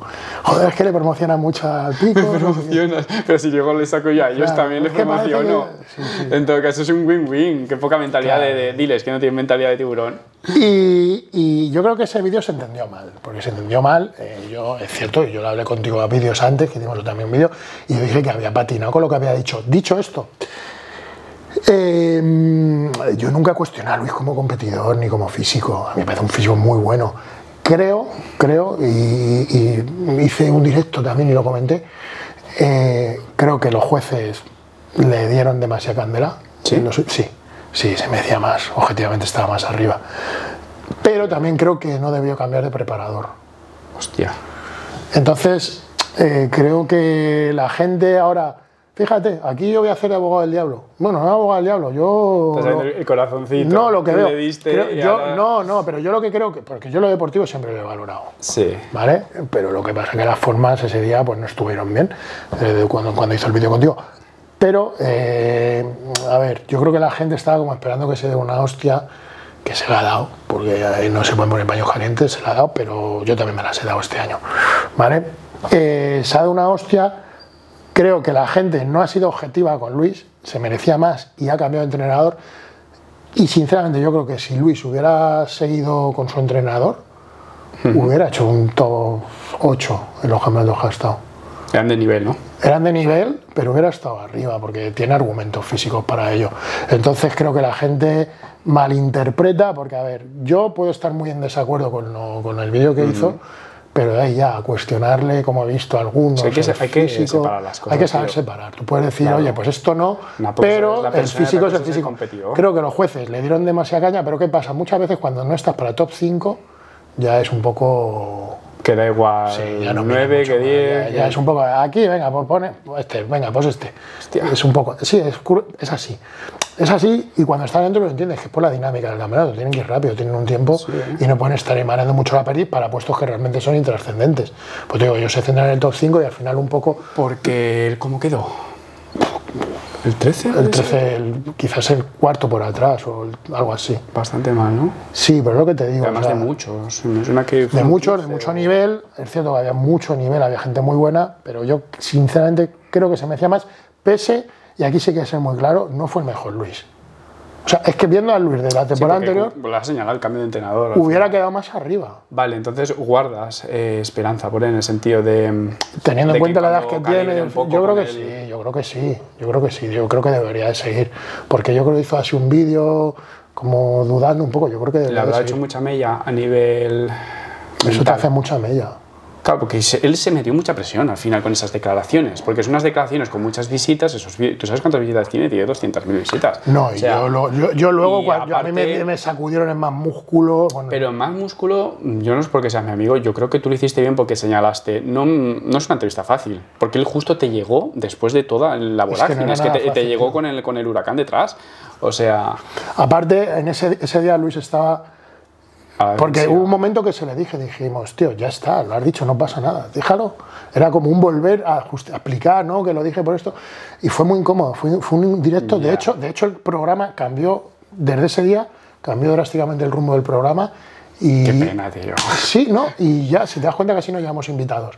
Porque cuando terminó el vídeo, todos nos pusimos de acuerdo en que había sido muy incómodo, que no queríamos entrar en esa dinámica de hacer sentir incómodo a nadie. Es lo que le gusta a la gente. Y fue lo triste. Fue lo triste porque, tío, tienes ahí a gente con experiencia, te pueden hablar de mil cosas y estaban ahí unos insultándome a mí, otros a Luis, otros a Robert. Al final era como, como una pelea de patio de colegio que, que- que, a ver, a, a mí me mola porque me mola la sangre. O sea, yo como espectador me mola, pero cuando estás ahí metido es como, joder, tío. ¿en Hay que pescar en aguas revueltas. Claro, cuando pasa eso. la- creo que el vídeo tuvo más visiones que. más- o sea, el tío lo sigue consiguiendo porque fíjate que cuando hicimos la entrevista a Villano fue una locura, pues él lo dobló, lo de Villano o algo así. O sea, él, él reventó. Pero además reventó todos los vídeos que se iban haciendo después, los reventó. ¿eh? Porque es que además vino Forte antes. Entonces ya lo de dejó, o sea, Forte lo dejó ya, o sea, ya se vaticinaba la tragedia. Entonces, claro, o sea, Forte lo dejó suave. A ti cuando te pasan los invitados, ¿no? La lista de los invitados y tú vas, ver la vas viendo la Pero es que muchas secuencia. veces lo sabemos en el día. Ah, no te lo sabes, en plan, esta semana, esta semana, tal. No, y normalmente Porque como si no, que- te, te mandan Forte esta semana, la semana que viene Luis. Nosotros hacemos un listado y es un poco a ver quién nos coge el teléfono. Ya. Y de hecho Forte vino porque no sé quién falló y venga, pues traerlo ya a Forte. Hostia. Y siempre confían un poco en... en- Al ego en- de Forte no le gusta escuchar esto, ¿eh?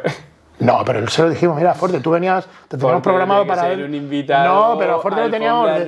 Claro, pero a Forte lo teníamos del palo, de, programado para dentro de dos semanas. Ah, vale, lo adelantas. Vale, y oye, que falta este. José ¿Te María, ¿te importa? que te adelantemos? No, no, no, va. Y bueno, di una entrevista que, bueno, Yo tengo guardado especialmente esos clips porque los suelo utilizar. no a cualquier cosa a mí me encaja muy bien. ¿Y tú quién eres? O sea, es que, es que, es que fue, o sea, yo lo siento mucho. luego se yo- puso a yo- hablar de cosas de la cárcel conmigo. No, no es. De o sea, fue un o sea, vídeo, fue como, O sea, yo, yo me sentía como entrando a una mina de oro, tío. Sí, sí, En yo plan, con el Yo estaba pensando en ti, de hecho, durante el vídeo. Decía, madre la mía. carretilla y madre diciendo, mía, bueno. madre mía, esto, esto va a ser épico. Claro, la semana que viene Luis. Además tú eres como mi asistente, porque de una manera u otra vas hilando y al final aparece mi nombre. Sí, sí, sí. Y a mí me lo pasan mis torretes, minuto tal, minuto tal. Te ha mencionado Duffy y el otro se ha desahogado. Sí, sí, sí, sí.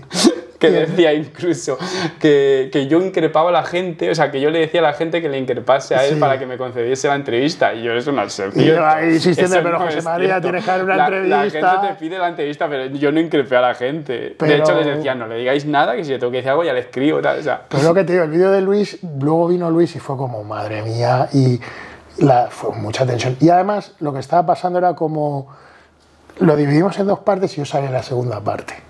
Además, tú, tú eres el revulsivo a veces, ¿eh? Claro, y pones como. El, tú eres el picante, ¿sabes? Claro, y era como, bueno, que salga ya Duffy, ¡ay, que va a salir ya! La gente ya y fue sabe. como cuando, como cuando el chupinazo y salen los toros.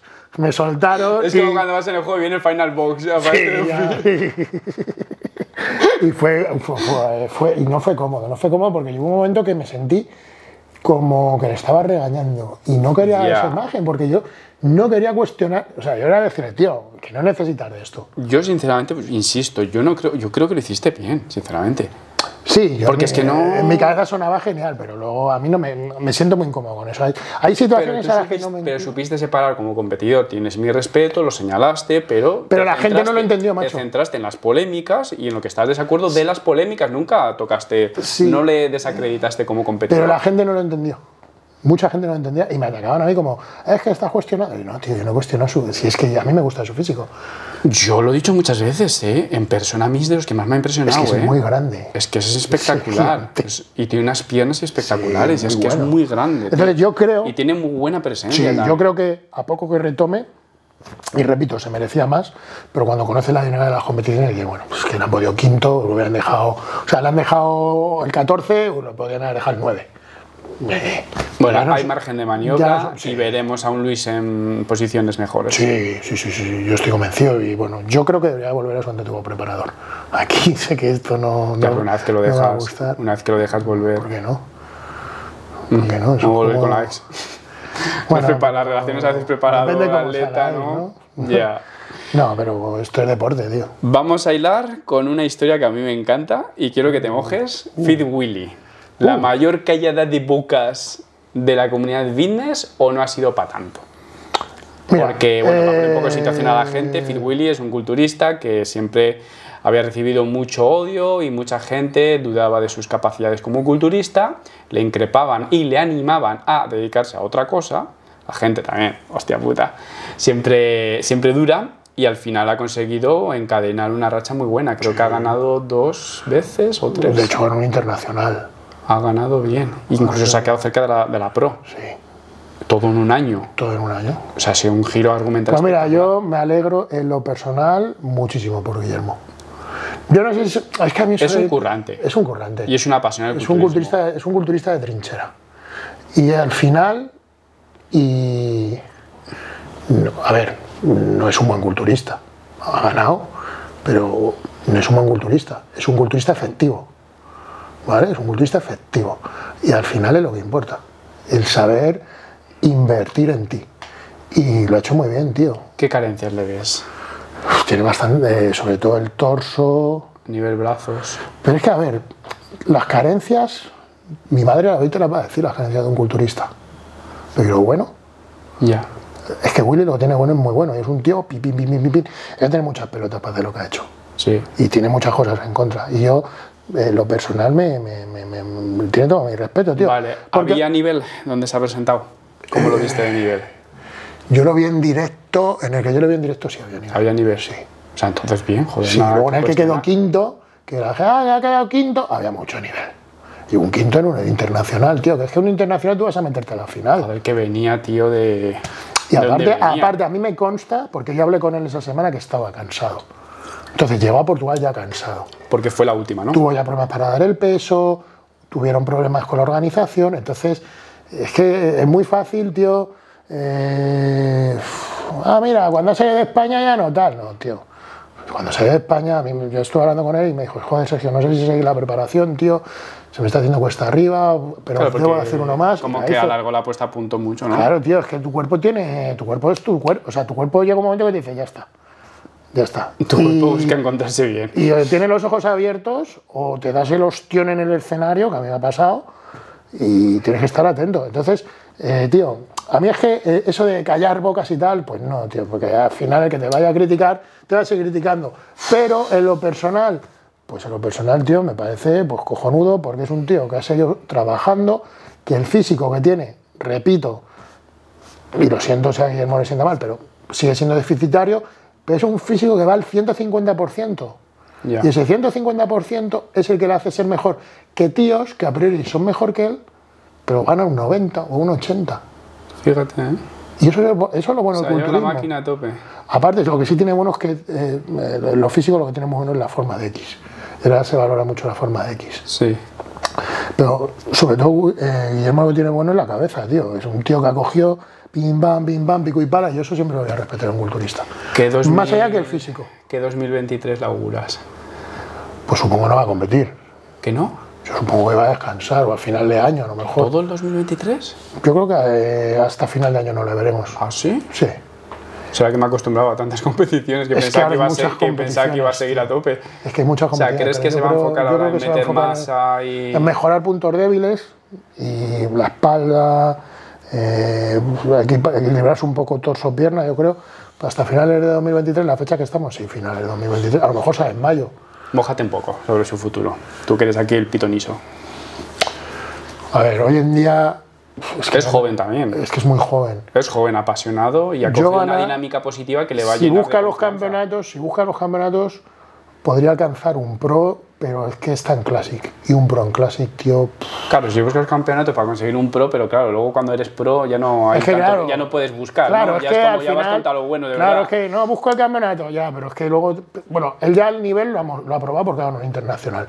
Entonces ya tiene su derecho de buscar campeonatos, porque yo eso es algo que, por ejemplo, con Sergio me dice, no, quiero ir a un campeonato ya muy fuerte. No, tío, pues ya, ya mostrado que tienes el nivel, ¿no?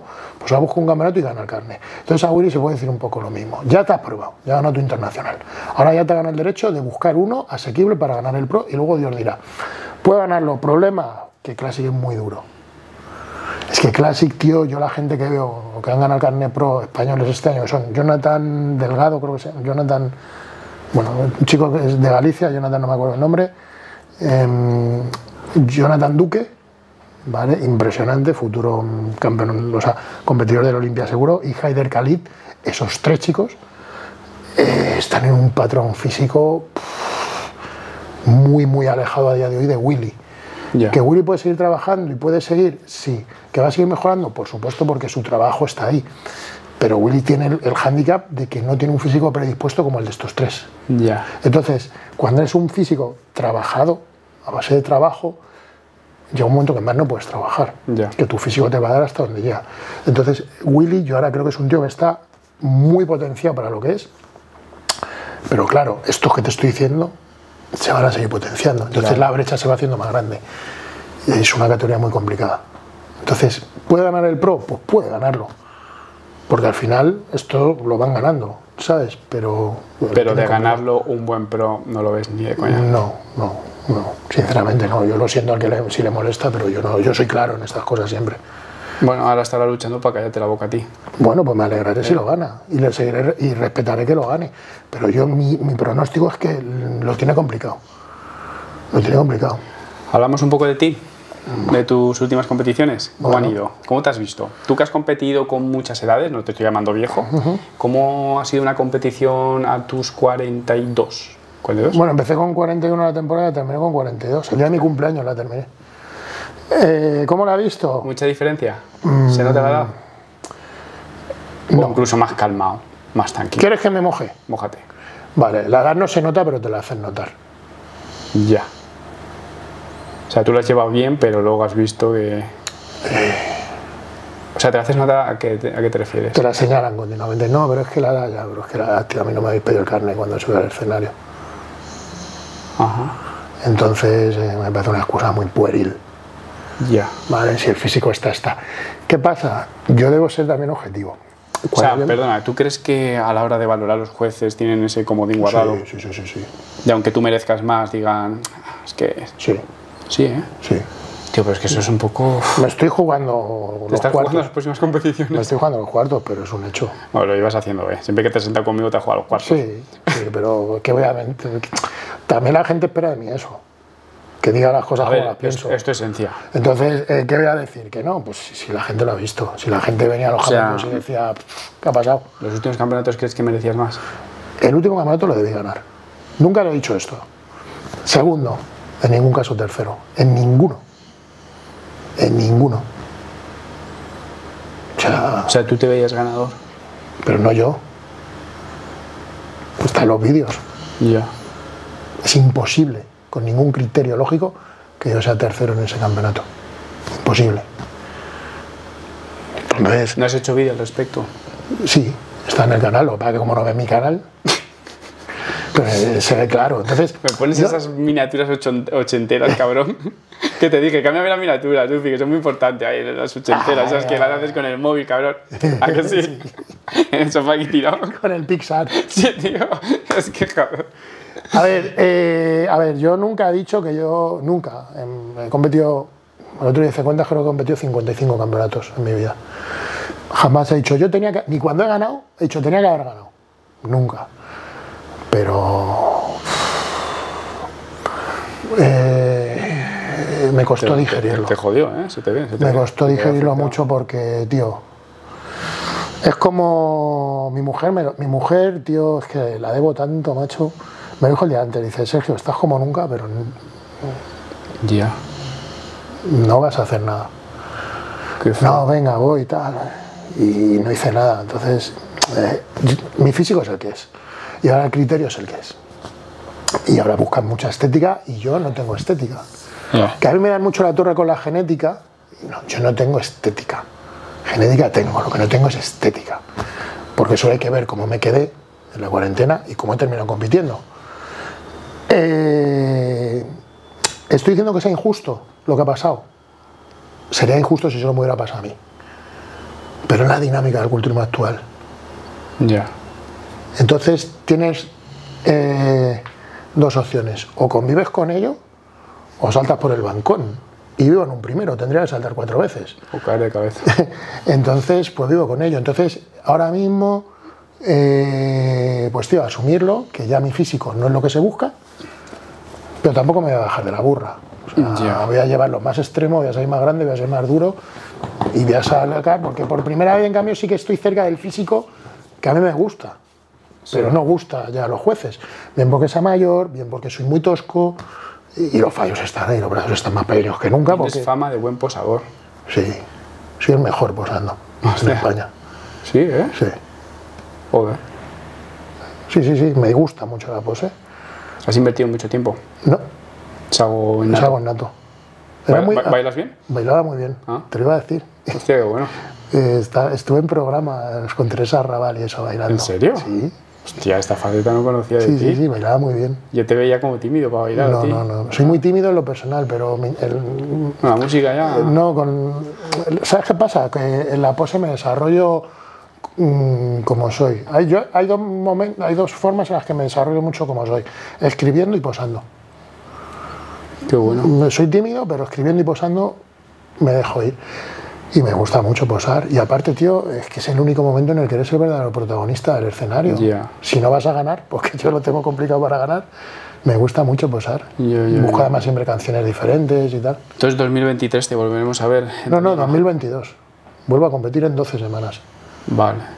Voy a, hacer, voy a pillar el carne pro, ¿eh? ¿Sí? Sí, sí, sí. En categoría máster. Voy a por ello. Hostia puta. Voy a por ello. Pero lo que te hago, digo. te hago vídeo.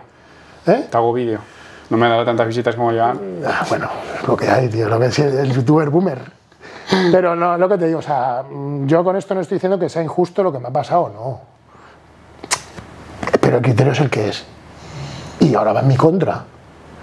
¿Sabes? Ahora va en mi contra. Claro, pero esto es un poco contradictorio. Quiero decir, o era justo o era injusto, o aplicado en un criterio que ha cambiado. Quiero decir, ahora me dejas un poco la duda. Eh, pero es que el criterio es ridículo.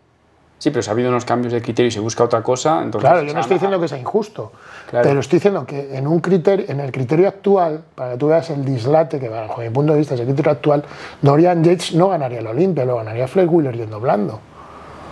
Ya. Entonces, no es, o sea, es muy difícil de entender que un físico de 1,64, duro, con 97 kilos en el escenario, porque le fallen los brazos, no gane y pierda con físicos que a lo mejor tienen menos pierna, menos dureza y simplemente tienen forma de X. No sé si me explico. Sí, sí, sí, no es que digo que sea injusto, porque injusto sería que solo me dijera, no, Dufour no puede ganar. No.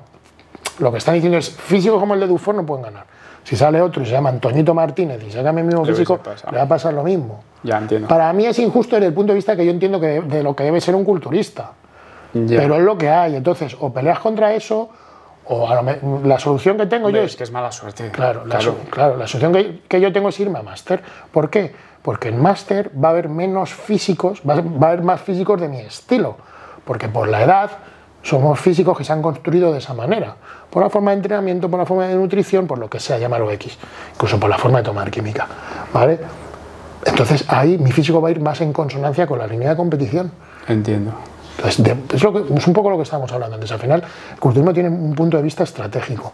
Y si a mí me dicen que yo para ganar el pro tengo que ir en máster, pues, Pues mi objetivo es ir a máster y cuando tenga el pro, ya puedo decir, bueno, ya tengo el pro, si en el caso que lo gane, ya puedo ir donde quiera. Pero tengo que ganar el pro. ¿Te haría mucha ilusión conseguir la tarjeta? Sería como el broche Te digo la verdad. carrera. Te digo la, la- la- verdad. Te va a durar 5 minutos. No. Sería una buena inversión. Sí, ¿eh? O sea, a nivel de marca personal, te refieres. Para asesoramientos, tal. Ilusión no, porque no tengo físico profesional, porque ya renuncié a mi primer Bueno, también profesional. ilusión. ¿eh? No, es que tengo más un sentimiento de obligación, de que tengo que hacerlo. O al menos quedarme Y te ahí. queda una sensación también de dejarlo algo zanjado, ¿sabes? En plan, Bueno, pero es que realmente, carrera realmente ya gané el, el- el pro en Elite Pro, entonces ese momento de ilusión sé que no existe. Ya. Porque, joder, macho, por- porque no existe, pues porque te vas, me voy a venir a mi casa, nadie va a saber que gana el pro, en el caso que lo gane, o sea, que no va a cambiar nada. Ya. Entonces, sé que no va a pasar nada, pero tengo un poco de obligación y de compromiso y que a nivel marca personal, claro que es un negocio, tío. Claro que bueno para Sí, el negocio, es que es innegable. Eso te da un estatus de decir, eh, que yo... De eh, repente se encarece todo, ¡pum! Claro, claro, es- es diferente. Claro, pero... Mismo servicio, ¡pum! Pero a nivel ilusión no, 20%. tío, supongo que también es la edad, ya tienes... Pff, ilusión es que ilusión, ahora tengo otras cosas que me hacen muchísima más ilusión. Eh, ver a mi hijo desarrollarse en el mundo, Claro. me- me- eso sí es ilusión. Yo creo que cuando vas cumpliendo edad, te das cuenta de lo que es la ilusión y de Sí. lo que es un poco, bueno, pues está bien tenerlo, pero Y ilusión... que el foco lo vas poniendo en otro Lo lado. vas que al poniendo en otro lado. Pasas todo en segundo plano, aunque, mismo- aunque suene feo, pero pasas a un segundo plano como padre en el momento que, en el momento que eres padre ya pasas a un segundo plano. Porque ya tu máxima preocupación es la criatura. Claro, pero es que además, tío, eh, yo he tenido un. Lo hablaba hoy con mi mujer, a mí la cuarentena fue una catarsis, en muchos sentidos. Tuve un crecimiento brutal. Dejé el físico en el camino, a lo mejor ahora tendría mucho mejor físico, claro, eh, seguro, si hubiera sido por él, pero sería una persona nefasta. Entonces, en la cuarentena tuve esa, experi- esa experiencia, tío, y a mí me ayudó a crecer muchísimo y a poner el foco donde tengo que ponerlo. Y al final te das cuenta que las competiciones, tío, ya han terminado. Las de esta temporada ya han terminado. Ya nadie se acuerda. Ya. Dentro de dos semanas, en la, en la era de la velocidad, tío. claro, todo muy dentro de dos semanas ya nadie se va a acordar si el carné pro lo ganó Joan en Alicante, en Madrid o en Cartagena. Ya. Sí, saben que que es esto es pro así. y ya. Sí. Esto es así, entonces Sí, te das cuenta que verdaderamente el foco tienes que ponerlo en las cosas, en el aquí ahora, en la familia, en las cosas. Que no quiero dar un- un- una charla rollo Mr. Wonderful, Ya. pero es que la puta realidad. Yo veo muchísimos culturistas jóvenes que experimentan eso que yo experimenté años atrás y digo, joder, qué pena, tío, no poder cogerles así al cuello y decirle, tío, que no, que esto se va a acabar, ¿eh? Que esto se va a acabar, que esto Sí, pero eso es aprendizaje personal. es un aprendizaje y tienen que hacerlo por ellos mismos, pero yo hago mucho hincapié eh, y, y hablo con culturistas y cuando me dicen cosas de cómo llevar la operación, digo, madre mía, tío, es que yo, de yo haber sabido que hubiera disfrutado mucho más del culturismo, mm, porque yo ahora ya estoy en un punto muy, digamos, como muy zen, muy, muy elevado, pero yo desde los 36 o por ahí empecé a disfrutar del culturismo de otra manera y te das cuenta que hubiera disfrutado, y he estado compitiendo 20 años y solo te hablo de los cuatro últimos, hubieras disfrutado tanto del culturismo, tío, de otra manera, sabiendo que comer cada tres horas y cada cuatro, Ya. O no irte de vacaciones porque no puedo comer en un restaurante, Sí, o, como eso lo comentaste en la entrevista, como que antes eras culturista 24 horas y luego te diste cuenta que realmente el culturismo tiene que ser los momentos, el entrenamiento, comidas y tal, pero que no tienes que estar Entonces, yo, por 24 ejemplo, horas con el run run en la cabeza. Entonces veo tantas cosas, eso de esas preparaciones tan enfermizas, tan... Pero yo creo que se, como que se romantizó un poco lo que es el, el hardcore, ¿no? El, Es que el yo- el se que- está subiendo, se está subiendo el vídeo que es eh, la puta turra de la old school. Sí, Y es que cuando te hablan de la old school, de lo bueno de la old school, si tú lo examinas, lo que hablan como algo bueno de la old school, cualquiera te diría que eso que dicen que era bueno no es nada bueno, porque son comportamientos obsesivos. ¿eh? Es que los de la no hacen dieta. Claro, es que las dietas que hacíais en la old school eran de putos locos. Es que los de no entrenan. Claro, es que los de no entrenan. Claro, es que entrenabais los siete putos días de la semana mm, y os retirabais con 30 años. Entonces, Claro. eh, la old school no es tan bonita. Como no es, el no pay no gain es de ser un puto gilipollas. Pero siempre ten- tendemos a un tiempo pasado es mejor, la nostalgia, ¿sabes? Yo te digo que el culturismo era mu- es muchísimo mejor que el de antes.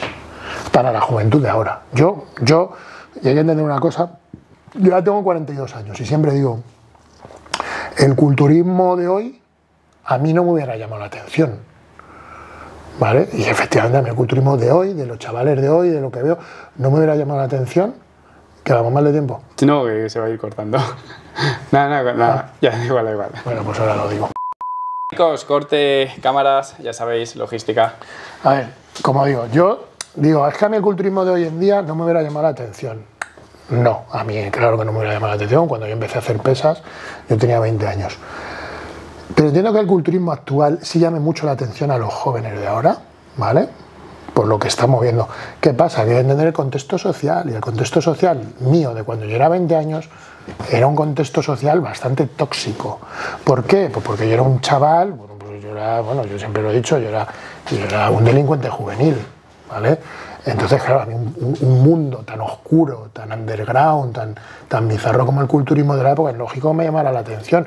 Pero es que la alternativa que tenías en el año 2000 era o quedarte en el parque fumando canutos, o meterte en una sala, o hacer kickboxing, que a mí no me gustaba, o hacer pesas. Entonces el contexto social era muy diferente. La gente, es que el culturismo de ahora, el culturismo de ahora para la juventud, el de ahora sí es atractivo, pero es que la juventud de ahora no le resultaría nada atractivo el culturismo ese antiguo, porque la juventud ahora tiene otro contexto, hay otras cosas, y para mí es súper positivo eh, ver a chavales de 20 años, de 18 años, que la gente se mete con ellos porque van, que si con el roller foan, que si con no sé qué, que si con no sé qué. Chico, déjale, mejor esto que lo que, que hacíamos hace 20 años, que era o gimnasio o parque haciendo básicamente nada. Ya. Entonces, para mí sí que el culturismo de hoy, el culturismo ahora mismo es mucho mejor de lo que era hace años. ¿Que los físicos son peores? Sí, los físicos son peores, ¿vale? Pero es que también en dio la puta casualidad de que en ese puto momento, en esos años 90, se alinearon las estrellas para que hubiera 8 o 10 tíos en el Olimpia que eran superlativos. Pero es que ni siquiera en la época de Coleman luego se dio eso. ¿Cuál dirías que fue el año más top del Olimpia en cuanto a nivel? El año 93, 93. ¿Quién lo ganó? Dorian. ¿Y quiénes fueron los rivales? Eh, segundo, eh, segundo Flex Wheeler, Uf, tercero Kevin Lebron, cuarto Lila Brada y quinto Paul Dillet. uf, Y, vaya, ¿eh? Hostia puta. eh, yo creo que el año 93 fue- además fue el que cambió el juego. Fue cuando ya empezaron los monstruos del tamaño. Porque Coleman cuando hizo la incursión. Coleman debutó en el 92 quedando último, Sí, pero cuando empezó a ganar. en el 98. Ajá. ¿Cuál es tu favorito De, de todos los tiempos? A ver, es que es complicado. Y el otro día hice una story que me preguntaban que quién era el culturista del momento que más admiraba. Eh, es que la, la la palabra admiración para mí es muy grande. Yo admirar, admiro a mi padre. ¿Vale? Pero para yo sentirme, sentir admiración por, por un culturista sería que admiro su físico. Yo el único físico que admiro es el de mi mujer cuando la veo en bolas. Ya. ¿Vale? Entonces, para mí, creo que en el culturismo, como yo lo entiendo, ¿eh? a ver que me estoy poniendo un poco profundo, eh, el culturismo, el físico solo es la primera parte. Ujú. ¿Vale? Y yo admirar, admiré a Dorian, porque Dorian cambió el juego, ¿vale? Y porque Dorian es un tío que tú, yo lo he tenido enfrente y ya no estaba fuerte cuando tuve enfrente, es un tío que hablando te imprime respeto. Ya. Y soy un friki Dorian, he leído todos sus libros, estudio mucho la, actitud- la forma que se mueve en la sala. Era Dorian y Momo Benaziza, que fue un culturista que falleció en el año 92, murió en el backstage prácticamente, pero era un tío que todo lo que sacaba del culturismo era para mantener a su familia en Argelia. Y a- bueno, la pregunta era que a qué culturista eh, del momento admiraba, y la- dije esto, y dije, y del momento al único que admiro es a Sergio Estepa. Sí, ¿eh? Es el único culturista, pero de americanos, de no americanos. Al único tío que yo veo que me despierta admiración es a Sergio Estepa.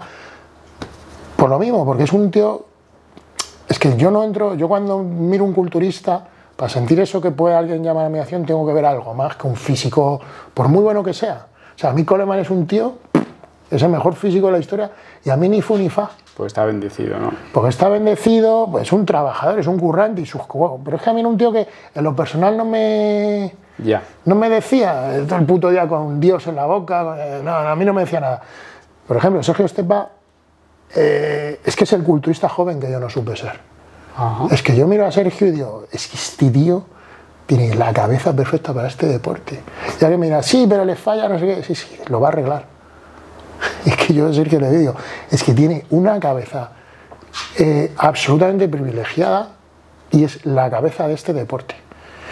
Y, y la gente lo va a ver, va a ver que Sergio Estepa ganará carne pro, hará carrera y estará bien situado por esa mentalidad que tiene. Es un, es un tío, es un poco lo que estábamos hablando también de Willy. Y si tuvieras que señalar, señalar carencias, ¿qué, qué crees que le falla? ¿A Aunque Sergio? pueda subsanar, ¿qué crees que le falla?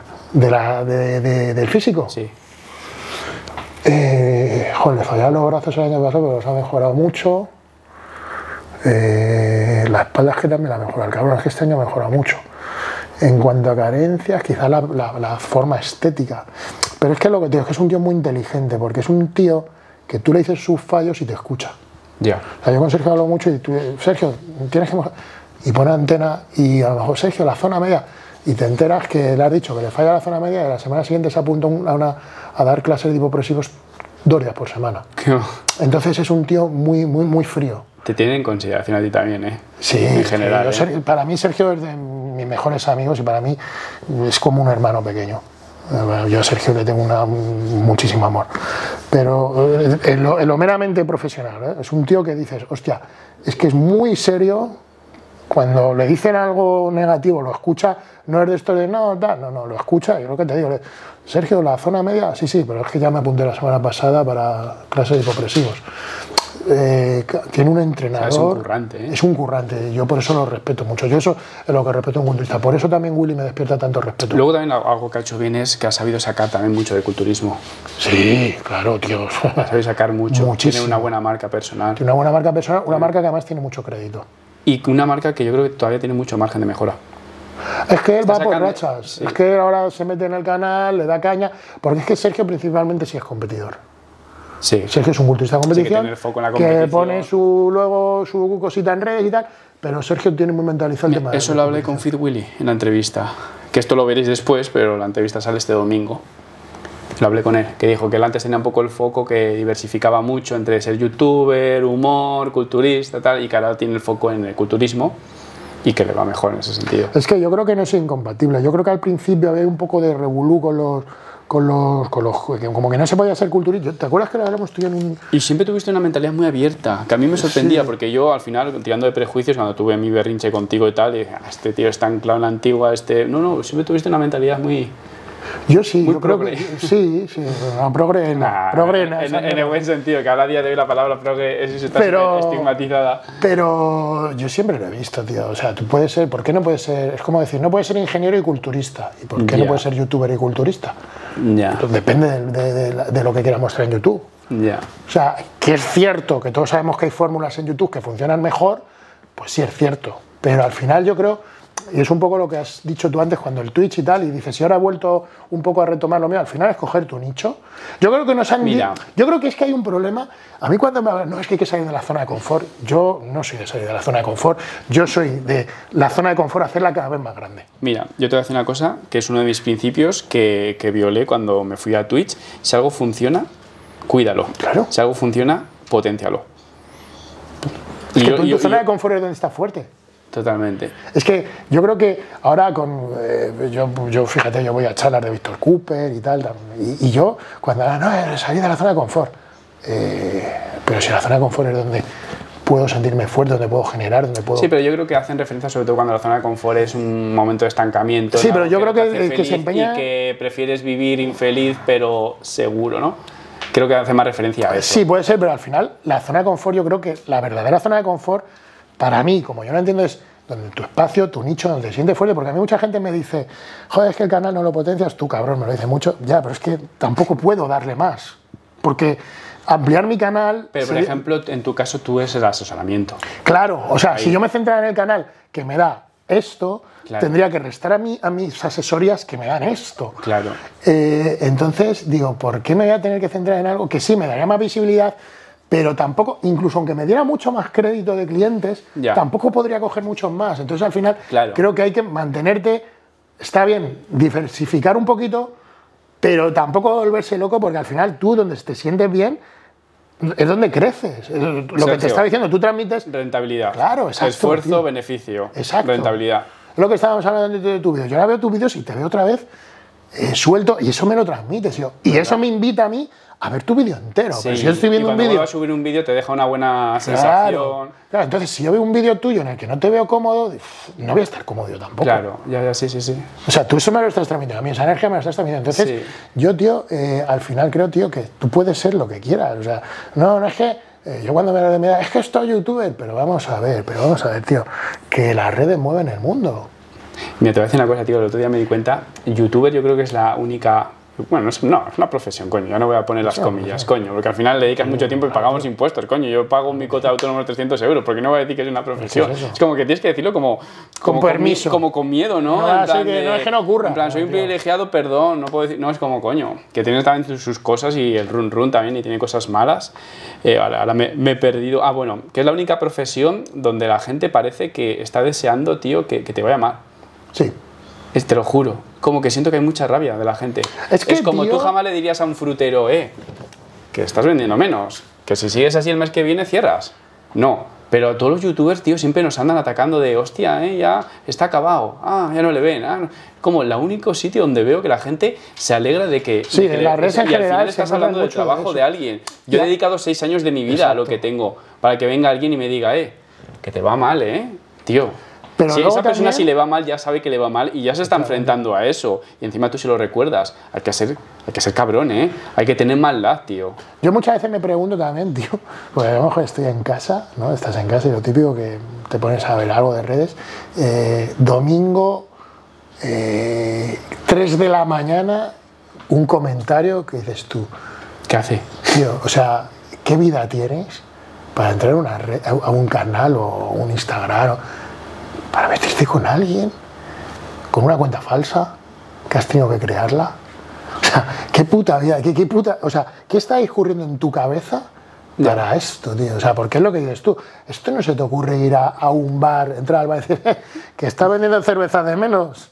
O que al ¿Eh? otro bar, el otro bar está vendiendo más cervezas que tú. O sea, ¿qué coño tienes en la cabeza? ¿Qué te impulsa? O sea, Pero- ¿qué mente enferma ya. te lleva a eso? Y luego también vas como coleccionando eh, gente que te odia y tú lo piensas y dices, pero si yo no le conozco a esa persona. Me está odiando a Hostia, alguien es que que, yo ni algunos, si- tío, sí, sí, sí. Me está odiando a alguien que yo no le conozco. Como no le conozco es imposible que le haya hecho nada. Mira, ¿Sabes yo- cómo te digo? Pero te odia como de una manera personal. O sea, te odia casi más que, yo qué sé, que al que le debe dinero, tío. A mí eso me ha pasado con un tío que Se es obsesiona, curioso. es como que se obsesiona. Hay un tío ¿verdad? que se obsesiona conmigo, que se obsesiona conmigo, pero lo peor es que de mi gimnasio. Es un tío que conozco físicamente, que ha competido contra mí, Qué incómodo, ¿no? pero no le he vuelto a ver. De estos que ya. Pero es que además, ¿no? es que es un tío que incluso de encontrarme en el Mercadona. Y es que, ¿Y cómo actúa cuando le ves? es que no lo he visto después. Joder, se ha cambiado de ciudad.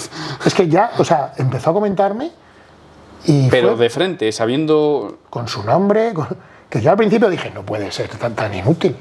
O sea, en serio, dije, no, raro, no puede estar tan Claro, enfermo. Será el primer hater valiente. Eh, ¿Por qué, no, porque Sí. comenta, borra, cuando ve que se pasa de vuelta, borra, escribe a las 3 de la mañana, con lo cual yo creo que le da al alpiste o algo, y es como, eh, tío, ¿por qué haces esto? Si es que me conoces y cuando te, me ves en eras como, hola, tío, ¿qué tal? ¿Cómo estás? Tío, pero además es un tío como de 50 y pico años. O sea, Ya. que es que decir, mm, y todo viene porque comen- o sea, comenta en todos mis vídeos, a lo mejor tú subes un vídeo de- mío y comenta, pero además co- cosas súper hirientes, o que él se piensa que hacen daño, pero son cosas completamente que no tienen nada que ver. eh, y es un tío que me ¿Puedes persigue. ponerme un ejemplo? Algo que recuerdes. O sea, en plan sin fundamento, dices. Pues todo empezó, mira, todo empezó porque dijo eh, en un vídeo que a mí me, me conocían como el panadero, porque tenía los. en Mad- sí, en Madrid le conocemos como el panadero, porque tiene los brazos como baguettes. Y yo le respondí, tío, es la primera vez que oigo tal cosa. Digo, aparte te conozco. Digo, y lo único que deberías de dejar de hacer es hacer el puto ridículo, algo así, le dije, de estar en red, porque además el tío no, debe no debe carburar muy bien. Algo le dije de que en sus redes ponía que las chicas no le mandaran más mensajes que estaba casado o algo así. Algo así. Le dije, pues cuando vi su nombre dije, pero este tío le conozco. Digo, a ver si es una cuenta para y entré y él, ¿no? Y eso le sentó muy mal y ya, pues yo qué sé, tío, eh, se mete con mi mujer. Pues fue una respuesta bastante sí, bueno, educada para... bueno, Yo te he visto mejor- más, más sanguinario, ¿eh? Una respuesta. Sí, ha habido- luego ya sí he sido sanguinario. Sí. Luego ya sí, claro, porque luego ya, claro. Es que un día le dije, tío, si es que tampoco quiero ser cruel, en serio, porque podía poner fotos incluso de los dos compitiendo. No me obligues, es que, es que no quiero, tío, es que, es que déjame, o sea, ya- lo más que le he pedido ha sido que me dejara en paz. Ya. Lo digo, Yo un día le dije, mira, tío, digo, al final digo, te voy a ir un día por en el mercado y te voy a dar un guantazo porque eres muy pesado. Es que es muy pesado al punto, tío, ya de acoso, o sea, de ponerme cosas de mi mujer, que dices tú, tío, es que eres muy pesado. Es que eres muy mayor para esto. O sea, que haga un chaval de 14, 15, 16 años que alguna vez me lo comenta, les comento, le vacilo, me vacilo, y yo me río porque me río. Pero un tío que te conoce, Ya. es que son muy. Es que. Y es lo que dices tú, dices, que. que o sea, ¿qué necesidad hay, tío? O sea, de- de- lo- es que le fallan los brazos, ya lo sé que me fallan los brazos. Llevo 20 años sabiendo que me fallan los brazos. No has descubierto nada, tío. No, no a, mí, a mí últimamente lo que estoy viendo es que ahora le están por inventarse cosas de, de mí. Como hace poco salí con una chica, que ahora obviamente pues ya no estoy con ella, no pasa nada, estoy bien. De hecho estoy, estoy muy bien. Em, cada uno por su lado, nos llevamos de puta madre, o sea, yo rara vez acabo mal con alguien, pero ahora es como que les ha dado por inventarse que si me ha arruinado, que si me ha dejado porque veía que, que justo llegaba a 2.000 euros al mes, como que está, o sea, presuponiendo que estaba conmigo por interés y que me ha dejado, Buah, unas movidas mentales que no te puedes imaginar. Como que 2.000 pavos Y, poco. y realmente, tío, enseñé a mi novia tres, o a mi novia, perdón, tres segundos en un vídeo. O sea, ¿cómo se, o sea, yo no he hecho pública la relación, no han visto prácticamente nada. ¿Cómo han podido sacar tantas conclusiones de tres segundos donde salí con mi exnovia y de ahí han hecho como 37 películas? Es que yo creo Que que. si me dejó porque no sé qué, que si no sé cuál. O sea, pero ¿Sabes lo que pasa? Eh, ¿Sabes lo que pasa? Que es que yo creo que eh, el que estés en redes, yo creo que hay- en, en- en la cabeza de determinada gente es como que ya automáticamente eso les da derecho a decir lo que quieran, a entrar a tu, pero que, que a se, tu pero que perfil. se esfuercen un poco. Porque yo, por ejemplo, el otro día mm, puse una foto, eh, no, no recuerdo qué foto es, y alguien empezó a comentar y ya tuve que decir, tío, que, este no es, que esto no es un foro de debate, que esto es mi puto Instagram. Claro. Pues ciérralo, digo, pero vamos a ver, ¿cómo que lo cierre, tío? Ya, pero eso es como decir también, ¿no? Si sales a la calle, voy a salir a opinar sobre tu cara de seto, ¿no? Claro. Es como no salgas a la calle entonces. Claro, es como la, la gente, es- O sea, no, la tío, gente que- se piensa que si tú ya eres un personaje público, eres un saco de boxeo. ¿Sabes? Y pueden decirte y desahogar lo que quieran, ¿no? Y si no, pues no lo hagas. Que por esa regla de tres aplicamos lo de la calle. No salgas a la calle o si no, yo también te voy a insultar. Claro. No, tío. ¿Tú No, me insultarías no, por la calle? No. ¿Por qué insultas? Yo hago vídeos para YouTube. Yo no hago- soy un saco de boxeo. Hago vídeos, creo contenido y ya. Es que es así, tío. Entonces, Punto. es- yo, yo no entiendo qué coño tiene la gente en la cabeza y que le A lo mejor tiene cabida o tiene sentido que si tú, que eres culturista y hay una normativa, hay un reglamento a la hora de valorar, pues si subes una publicación nunca- que alguien con fundamento pues te diga, pues mira, No, yo no, creo que. Alufor, sus puntos, algo con respeto. No, yo, ni, ni aunque sea con, no con respeto, yo entiendo. Mira, yo cuando es un- a mí, por Pero muy bruto que sea lo que no me pongan de mi aceptarías un comentario con fundamento. que No, no, digan- y aún sin fundamento los acepto. ¿eh? Ah. O sea, yo cuando es un comentario sobre mi físico, o sea, a mí como, vaya puta mierda físico, yo no borro el comentario. Ni le digo nada, tío. Yo soy el que ha elegido subir un bañador a un campeonato en bañador. Y no soy un billete de 500 euros para gustar a todo el mundo, entiendo. O sea, a mí eso no me provoca. De hecho, lo último que he tenido en mi muro ha sido por algo así. por, vaya físico feo, vaya mierda. ¿Cómo fue que me dijo? Dice, hay que ver lo que es no saber parar a tiempo. Yo dije, sí, como Sí. tu padre el día que... Pero pensaba que era un amigo tuyo, tío. No, no, no, pensaba que era un amigo tuyo y era la confianza ahí. No, no, no, de esos tengo muchos. No los borro, no los borro porque, tío, tú pones un comentario de mi físico, yo no Sí, lo te dije, hay que parar a tiempo antes, como que perdiste la estética. Algo borrar. así Sí, por porque yo no la he tenido nunca, también te lo digo. Sí. Pero pues, me puso, hay que ver lo que es saber no parar a tiempo. Yo dije, sí, sí, como tu padre cuando Sí, no sí. se, cuando, cuando se corrió. Certero ahí, ¿eh? Ahí 10 de 10, esa es buena respuesta, ¿eh? Sí, sí, pero, pero yo no borro un comentario, pero de, de, mm, nunca, nunca, porque yo entiendo que. A veces se quedan en evi- en evidencia ellos mismos. Sí, pero aparte y tú, que yo si creo dejas que. ese tío, comentario y viene alguien con dos dedos de frente, lo va a ver y va a decir, tío, ¿qué hace esta persona? Claro, pero Porque- independientemente de eso, yo lo físico, cuando se opina del físico, tío, porque yo soy el primero que veo a un profesional y digo, vaya feo que es el cabrón este. ¿Por qué? Porque esto es como el que mete un gol y uno dice, pues, ah, ese fuera de juego, o no, vaya mierda gol, o. Es, es deporte. Entonces yo creo que un deportista debe estar hecho a eso, tío. Ya, ya, O sea, ya. que no puedes ser todo qué bonito eres o qué bien estás. Si ya un tío te dice que eres feo, pues eh, lo asumes y te callas, tío. Ahí sí que en eso yo siempre he sido muy claro, tío. Y tú, por ejemplo, a día de hoy gestionas bien todo lo de las redes, el vivir de las redes, asesoramiento. ¿Qué- Joder, macho, es lo que lo- no, no te quiero meter caña, pero es que empecé fuerte, tío. Ah, bueno, claro, porque conmigo empezaste ya con el Es tour. que ya puse el top, entonces ya todos. A ver, yo me río mucho cuando, porque me pone muchos comentarios de esos y digo, joder, tío, es que me la dejáis votando, cabrones. Es que Ya. no quiero ser cruel, pero. Pero a día, ya indiferentemente de los comentarios de hate o lo que sea, eh, de lo- a lo que te dedicas, ¿qué tal lo llevas? ¿Qué es lo que peor llevas? ¿Qué es lo que más te genera estrés? Mira, a mí mi mujer me pone siempre los pies en el suelo. Me pone mucho los pies en el suelo, tío, porque cuando me ve así un poco tal, me dice, eh, eh, tranquilo, o no te flipes, o lo que sea.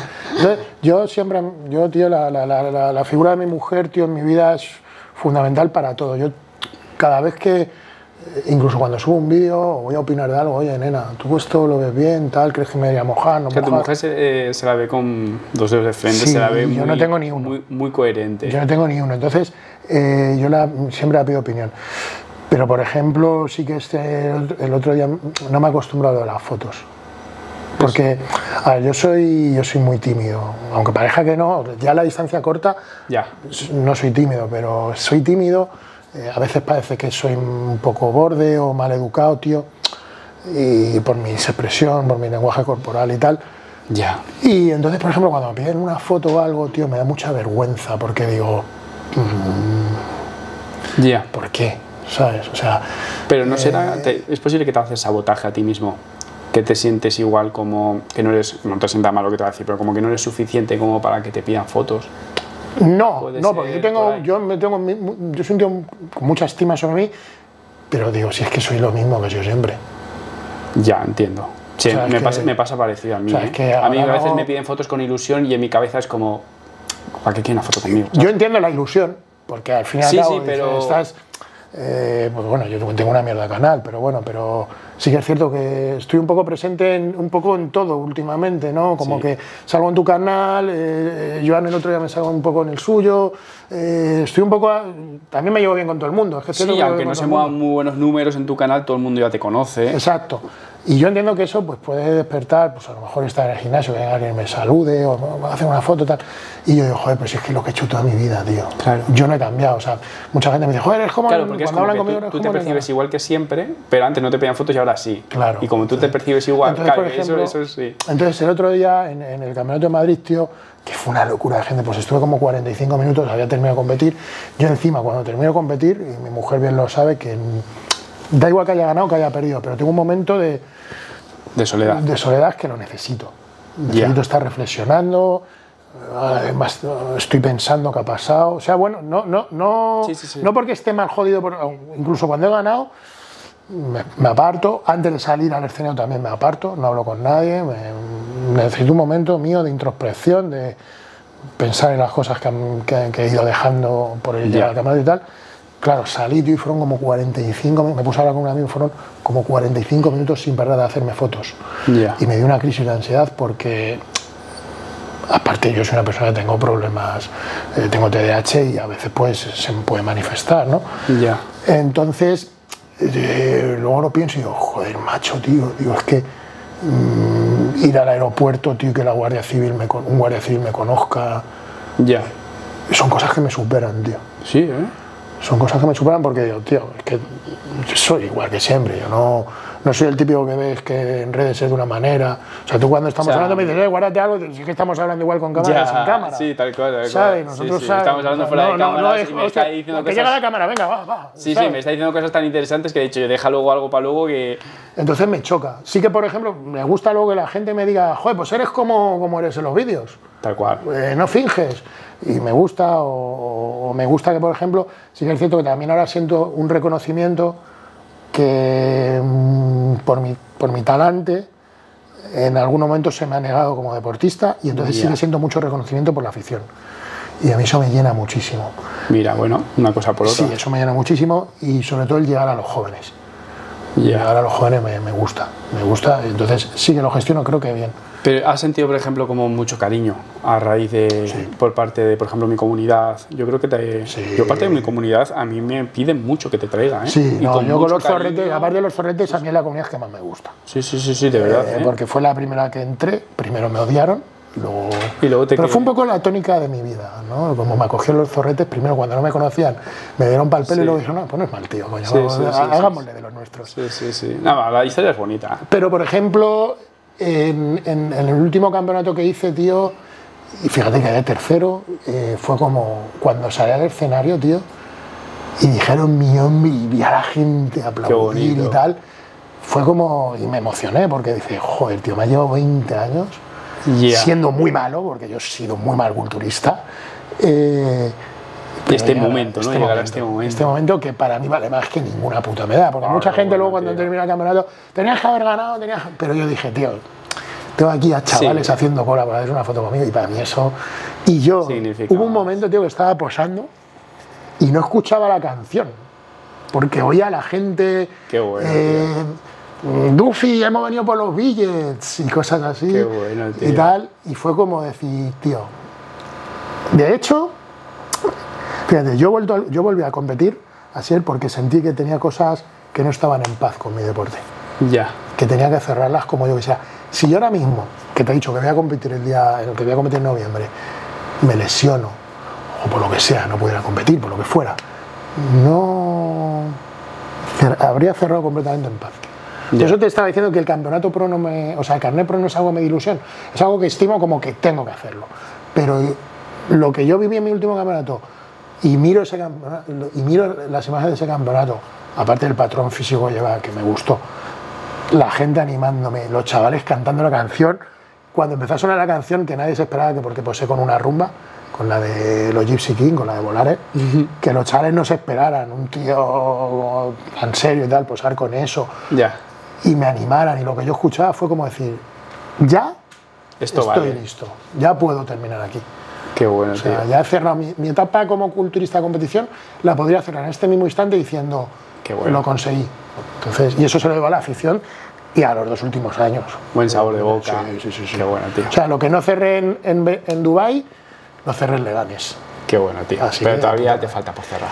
Sácate la tarjetita esa. Sí, yo creo, a ver, yo si no tuviera, yo sí, yo, a ver, yo soy objetivo. Si yo viera que el físico no da, no daría, pero el objetivo de esta primera operación es lo que yo decía, una preparación puente. Era el decir, mi preocupación era si yo era capaz de volver a prepararme para competir. Claro, cuando ya te ves que sí, ya lo que quieres es ganar, Claro. pero no estaba para ganar. No tenía todavía un físico con argumentos para ganar, pero ahora ya el objetivo que tengo ya es ser deportivo. Ahora ya es, eh, aquí ahora hay que ir a por plazas. Ya no vale el bueno, a ver qué tal se da, a ver si compito, a ver si pillo el rollo. Ya has pillado el rollo, ahora demuestra. Y yo para eso soy duro. O sea, yo, tío. Estaremos ahí pendientes. no vas a estar. No vas a estar. Pendientes en las redes. Le prometí que le iba a ir a. Bueno, prometí, no sé si te voy a llegar. Sí, sí, sí, prometiste, prometer, claro, si tuviera tetas hubiera A ver, sido. me calienté mucho hablando. Tenía otras motivaciones en aquel momento. Todo hombre comprende Sí. que sí, pero tengo que ver, tengo que ver algo. Sí. Tengo que verte En Valencia, antes de que, de que termines. Chicos, vamos a dejarlo aquí porque me están avisando por aquí que la cámara va a hacer ¡pum! Nada. Ah, está bien, ¿no? está muy bien, ¿eh? Hemos batido récord, más Muy larga que nunca. Voy a dejar en la descripción sus redes sociales para que lo petéis del próximo Pro. Y espero que os haya gustado muchísimo y nos vemos en próximos vídeos. Venga. Hasta la vista, amigos. Chao, chicos. Chao, ferretes. Ay, que qué bien, bueno. ¿no? Hemos tocado ¿Eh? todo, hemos tocado todo. Sí, sí.